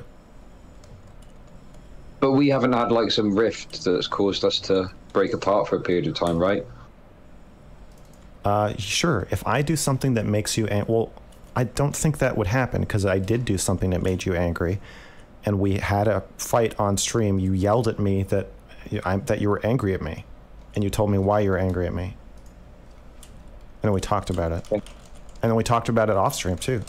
I, I think I That's think what this I would is very expect of like a friend. Like I, I, I I think this is very disingenuous, though. Like I, I have uh, supported you even when it has gotten me so much flack, right? Um, uh, when, before anybody else did, and I continue to support you publicly, even though we had our falling out. You're so I don't think this is necessarily more- fair. you're more afraid of this topic than you are of Child porn. catching flack.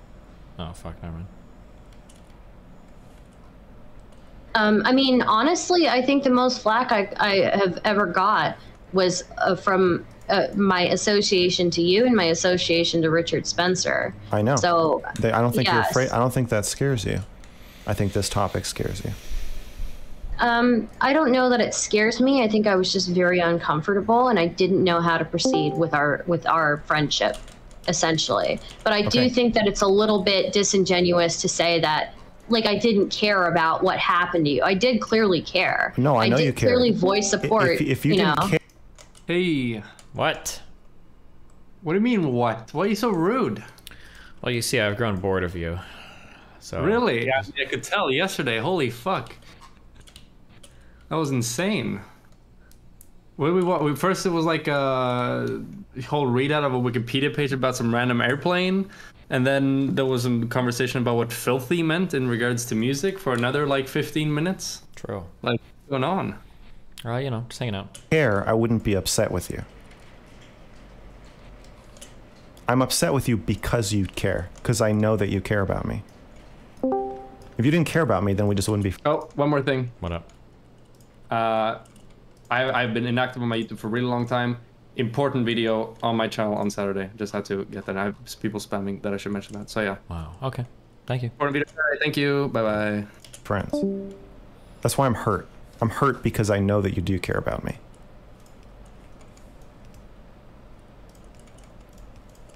But I'm I'm like you, but except with with uh, conflict and friendships. Fr- friendships are pretty easy to have at first because you don't have any really bad feelings about the other person. You're happy every time you see them. You get along with them.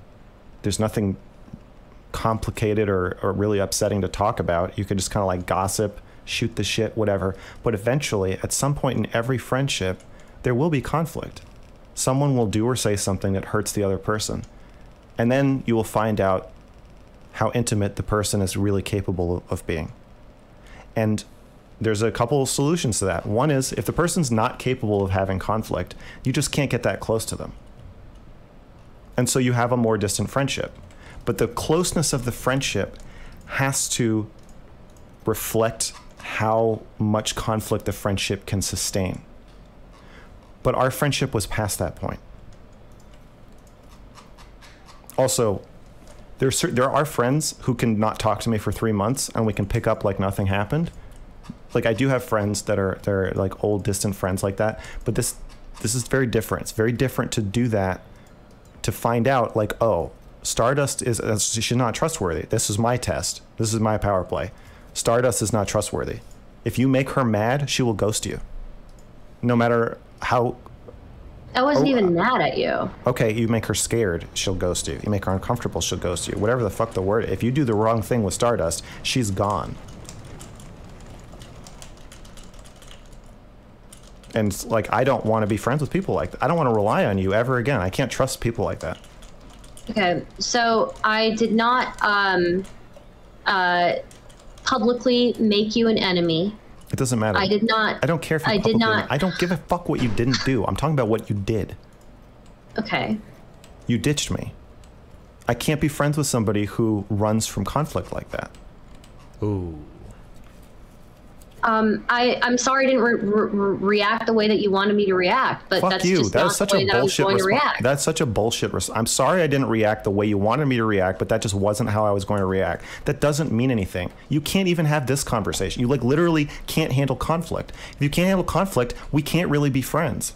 What I, what I don't want is a relationship where I provide all the warmth, I provide all the understanding, I provide all the conflict resolution, where I'm basically fucking parenting you, walking you through how to deal with being mad at somebody Damn. and not and not ditch them for three this months. It's like it's for, you're acting like a fucking fourteen year old. You're I not think- emotionally no, mature enough think for me to be friends with you. I think that I needed again after that conversation.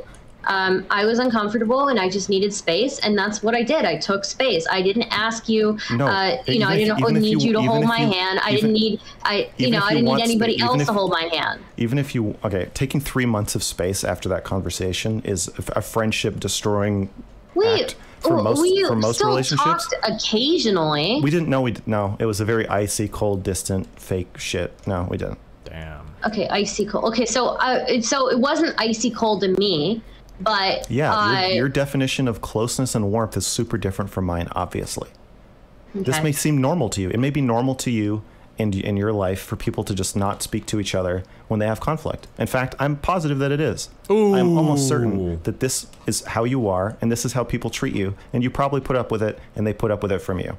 I don't want this shit in my life. No, I can't. I can't. All I can't. I can't do that. Damn. So we can be colleagues because that is friendly colleagues. Big Uh, power I- I have a play good coming out from Mr. for. Girl I like you. one. I like you a lot, and uh, I always will. But the, our relationship now needs to change into a relationship that where this makes sense. We can have a relationship where if I make you uncomfortable and I don't hear from you for three months, or I, I have some horrible thing happen to me, you don't check in with me, and I won't I won't give a shit. That's fine. That's the relationship that we need to have now. Colleagues. Okay. He just big fine. homied her. So, True. like, irrelevant. He didn't check in with me. That's fine. All right. He, he doesn't have to. I like irrelevant. I like him a lot. He's a cool dude. He- I have no sense that he should or or even would reach out to see how I'm doing. All right. Okay, I mean, sounds like like Stardust seem, you know, you don't, you don't sound too concerned about this this friendship going anyway. So like, It sucks, but it is what it is. So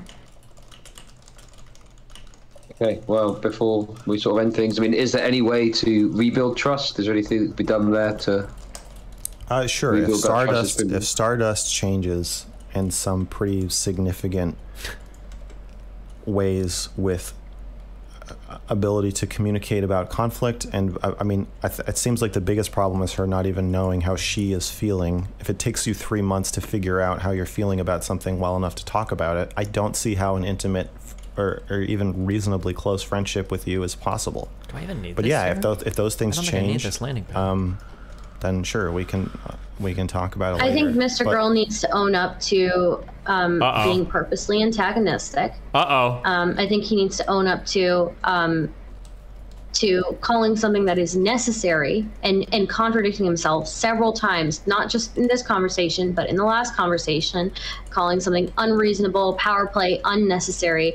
Um, you've used these adjectives for power play um, uh, while simultaneously saying that something um, can be a power play and be necessary. I just don't think that's the case. I think a lot of the you also have to own up to the fact that you're calling a, a power play. You have such a broad definition of what a power play is. Um, anything under the sun could be a power play. Um, so I'm, I mean, like, yeah, I don't really have anything to say about our friendship. Like, you know, it is what it is. So Okay, let this let this be a teachable moment for the audience. People who don't know how they feel will ascribe their feelings to you and say that you caused them on purpose. and I think you were purposely being antagonistic. Okay, so you think I'm just lying to you now? No, I, I do think you're lying to me. I think you were upset about me taking Shaylin's side and that conflict a little bit bo- before, and you brought it up midway in that conversation, and you were upset with me, and uh, Wait, what- and what- how and you took it you out on me Shaylin's what is Shaylin's side? uh, on the the whole thing with the uh, doll review or whatever. You, you brought that up mid conversation and said, "Well, you you said this. You said that um, you thought I was wrong for this, and um, I think you were resentful of me do you for think Shaylin saying thinks that." do you think Shaylin thinks that I was abusive and wrong? No, I didn't. I didn't call you abusive. I and uh, I just said that I thought you, said were wrong really, for the way. You said it was really fucked up. Did I say it was really Or you fucked up? I I was said maybe you said I was a jerk. I said you were a jerk. Yeah, I don't think I called it really think, fucked is up. That, is I- that what you think Shaylin's side is? That I'm a I jerk? don't. I don't. Uh, well, okay. So maybe that's not her side. Maybe her. Maybe her perspective on that is different from mine. But you didn't like the my perspective on that, and I think that you were resentful of me for my perspective on that. So, and I think you were trying to elicit a negative reaction from me. So, Wow. Okay. Well, all I can do is say that uh, if you're saying, I mean, I can just tell you you're wrong. If you're saying that I purposely was doing that and I, I was trying to hurt you, then I know Ten I wasn't. silence If you're saying I unconsciously was lashing out at you, I can't. I mean, I can't speak to that. okay. Uh, so, so yeah, you said that we could talk about the Mr. Girl conversation. Yeah. What do you want to chat about? And she just leaves. Okay. What's up? What do you want to chat about it? Or do you have any Um, specific thoughts, ideas, feedbacks, feelings? I so I I reviewed the first conversation that him and I had that led to the second conver- this one that happened yesterday. And um and he claims in our he claimed in our conversation yesterday that he asked me so many times if I was angry at him, if I was mad at him, and to and to be fair to him, he did ask me. But at the points that he asked me, um, I really, I truly was not upset with him. I truly was not mad at him. I was not uncomfortable with him. I don't think things got uncomfortable until like around 50 minutes in. Um, and at that point, I, I, wasn't even sure I was uncomfortable when I when I started getting uncomfortable. Right? Like you, I don't know if you've ever been in a situation where um, where uh, something feels off, uh, but you're not truly sure like how uncomfortable you're feeling in the situation until later. Um, you're gaslighting. And That's what you're telling me. Go ahead. I'm gas. Okay. um, I I just yeah, things. I truly was not mad at him. If anything, if anything, he was. It seems like he had started to get antagonistic towards me in the first conversation. Around 46 minutes, he's like saying, "It's your fucking attitude, Stardust." Mm-hmm. Um, uh, and we were just talking about the same things that we were talking about in this one about um, about like waiting for sex and he's saying you know you're you, you know that you're crazy that's okay. If you know that there's something fucking wrong with you and you're a sick weirdo, then that's totally fine. Um, if you acknowledge it and tell the person. Okay. Um, and I, uh, I, I tried to clarify with him several times throughout that conversation that I know that it's not normal, and I and I express that to my partners. I know that I need a little bit more time. Wait, what is even not normal? I'm so curious. Well, let's go back to the very root. What is your original stated position?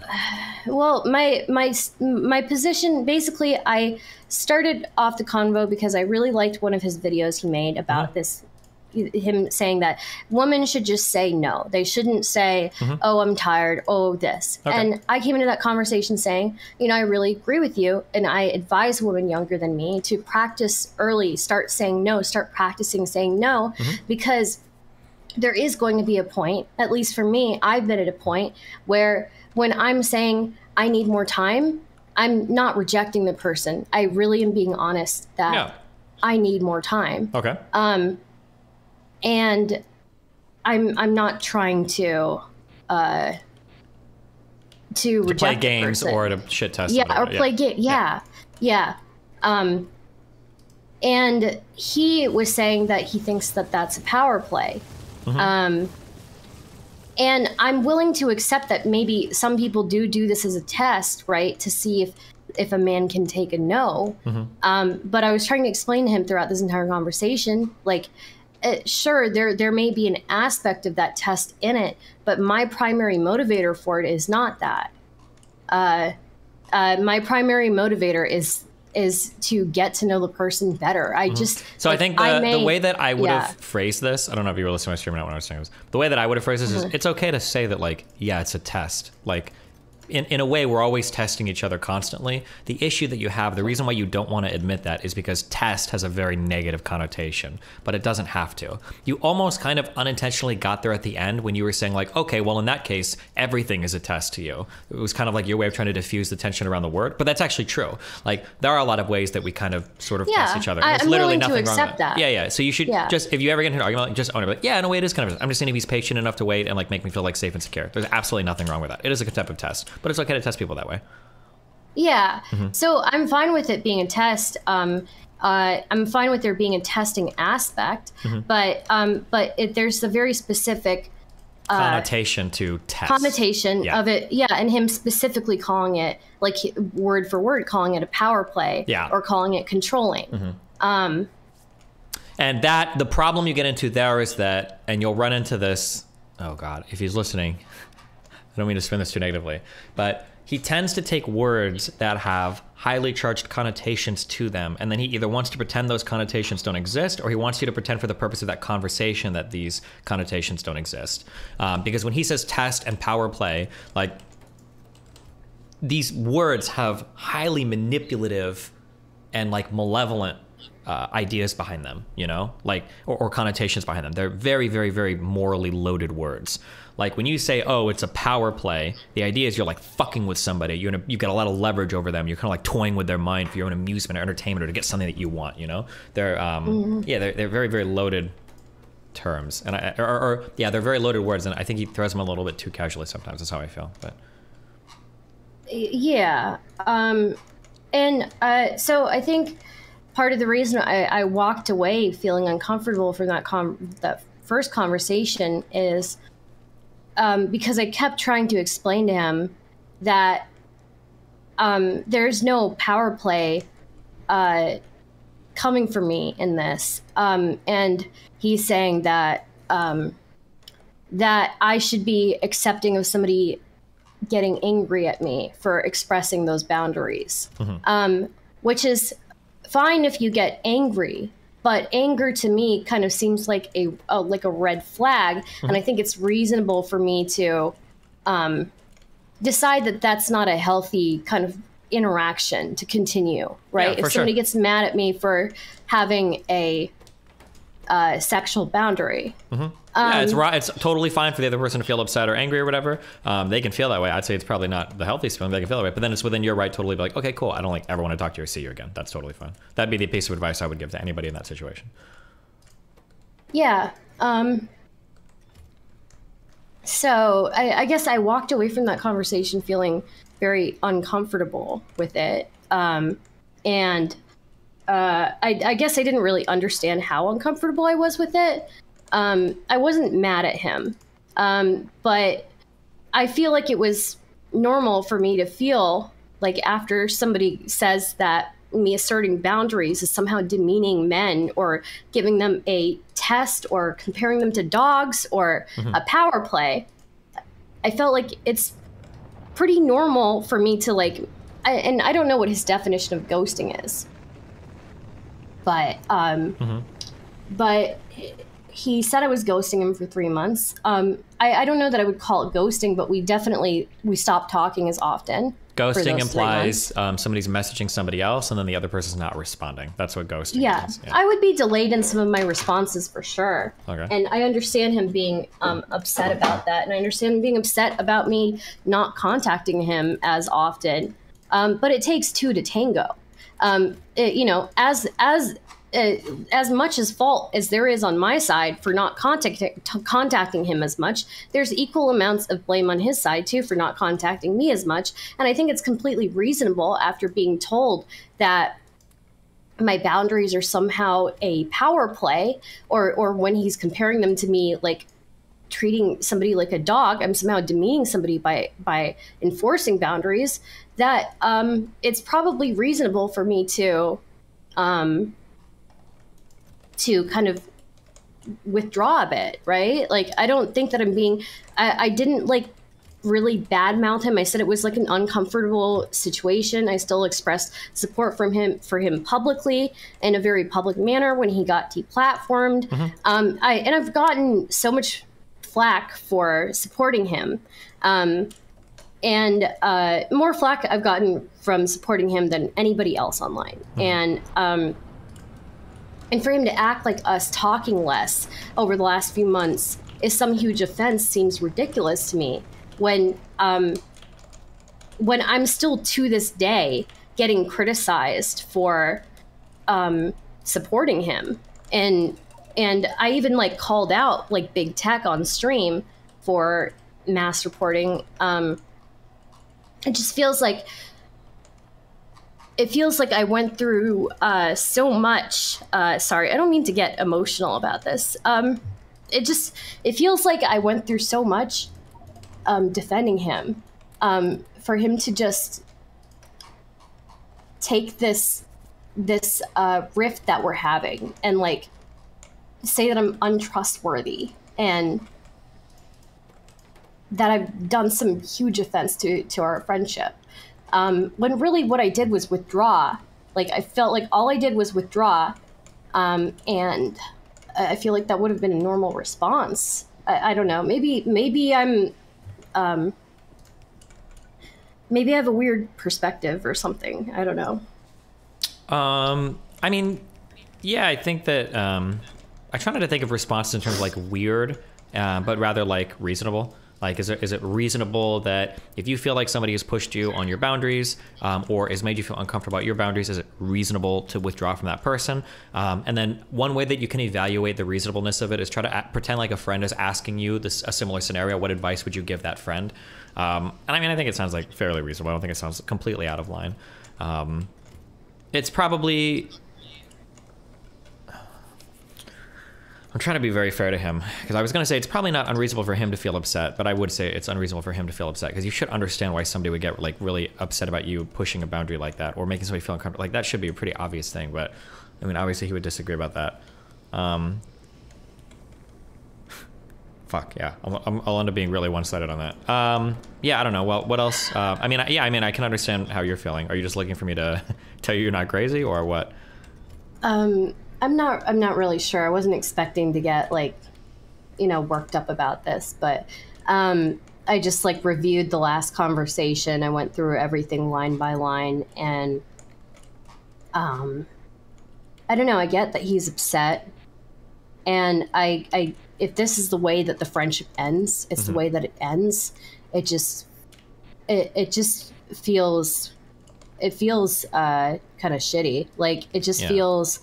Um, Yeah, the problem you're having is that you feel like you've kind of go, put yourself out a bit for him, um, and then he treated you in an incredibly harsh way, or what you perceive to be an incredibly harsh or insensitive at least way, and that when you took a little bit of space afterwards, he's essentially discounted every bit of friendship that you feel like you've put forth for him, and now you're like, well, what the fuck was it all worth? It's that I have this feeling a lot. It's when you're getting hit from both sides, you're like, hold on, why the fuck am I getting hit on both ends of this? Like, if that's going to be the case, then I'm just going to completely abandon one because there's no reason to, to take it from both sides like that. Um, and that's probably the feeling that you're getting here, I would imagine. Except it's even worse here because it's with like a personal relationship, not just a um, like an online thing. Yeah, I mean, I think, I think it's, I think it's reasonable. Again, like I, I understand why he he's got his own baggage for feeling upset about why a woman would want to not have sex immediately. Um, I totally understand that. Um, I just wish that there was, um, like after that that first conversation, he quite literally compares it to holding a biscuit on a dog's nose, and and that's what I'm doing to people when I when I say that I need I need time before getting physical. Um, and it just feels like you're you're blaming me somehow. You like me expressing a sexual boundary is somehow demeaning you and I don't know how I'm supposed to react to that. Like it just was such a strange conversation for me, and I figured I just need some space. Things feel weird, and that's what I did. And I didn't make it a huge thing. I didn't. I didn't make. Um, I didn't. I, I don't think I did. At least I don't think I made it a huge thing. I just kind of withdrew from him, and I was still. I still viewed him as like a distant friend, but. Um, but I didn't know that even um, he would be so upset that I didn't send him a message when he got deplatformed. You know, like I still stuck up for him in a public manner then, even if I didn't message him privately. But Yeah, I don't know. I mean, he could have a standard for friendship where he would expect that, and then he also doesn't understand like how upset you are over everything. So, yeah. yeah. Um, any other pointers on the conversation? I know I got very heated in the conversation um, and insulted Chud, but it was like only for fun and stuff. I, I didn't mean anything negative about it. So. Um, do I have any pointers or anything? Um, I don't think so. No. Um. Oh, I, oh, I guess the major thing I saw that was kind of annoying was um, you guys need to uh, when you're having disagreements like this, it's really important to get definitions straight as quickly as possible Hmm. um, to make sure that you guys are on the same page. Because sometimes you guys both end up using like different definitions, and then you have an argument for way too long than you need to. When it could be resolved so much quicker if you were on the same page, insofar as like defining terms or whatever. I agree with that. I think um, I think a lot of our issues are just fundamentally different definitions for things. Just Sure. like yeah, he like and and his definition of controlling is so much more broad than mine. Um, he thinks that controlling, like somebody can be controlling. Um, uh, while still needing to be controlling. And I think that calling something controlling is implying that there doesn't need to be control there. Yeah, maybe it gets complicated figuring out exactly who the fuck is meaning what there. But like I said, this is why it's good to just like hash out like what exactly do we mean do we mean when we say these words, so that yeah, there's not a bunch of like like a lot of your like over half that conversation was on on like what the fuck words meant when you guys were talking to each other. Yeah. Yeah. Okay. Well, anything else? Uh, I don't think so. Sorry for, um, you know, getting a little um, emotional. Um, you're uh, I I swear I didn't care yesterday, but I went through the whole conversation today, and then you know I felt kind of bad. But Gotcha.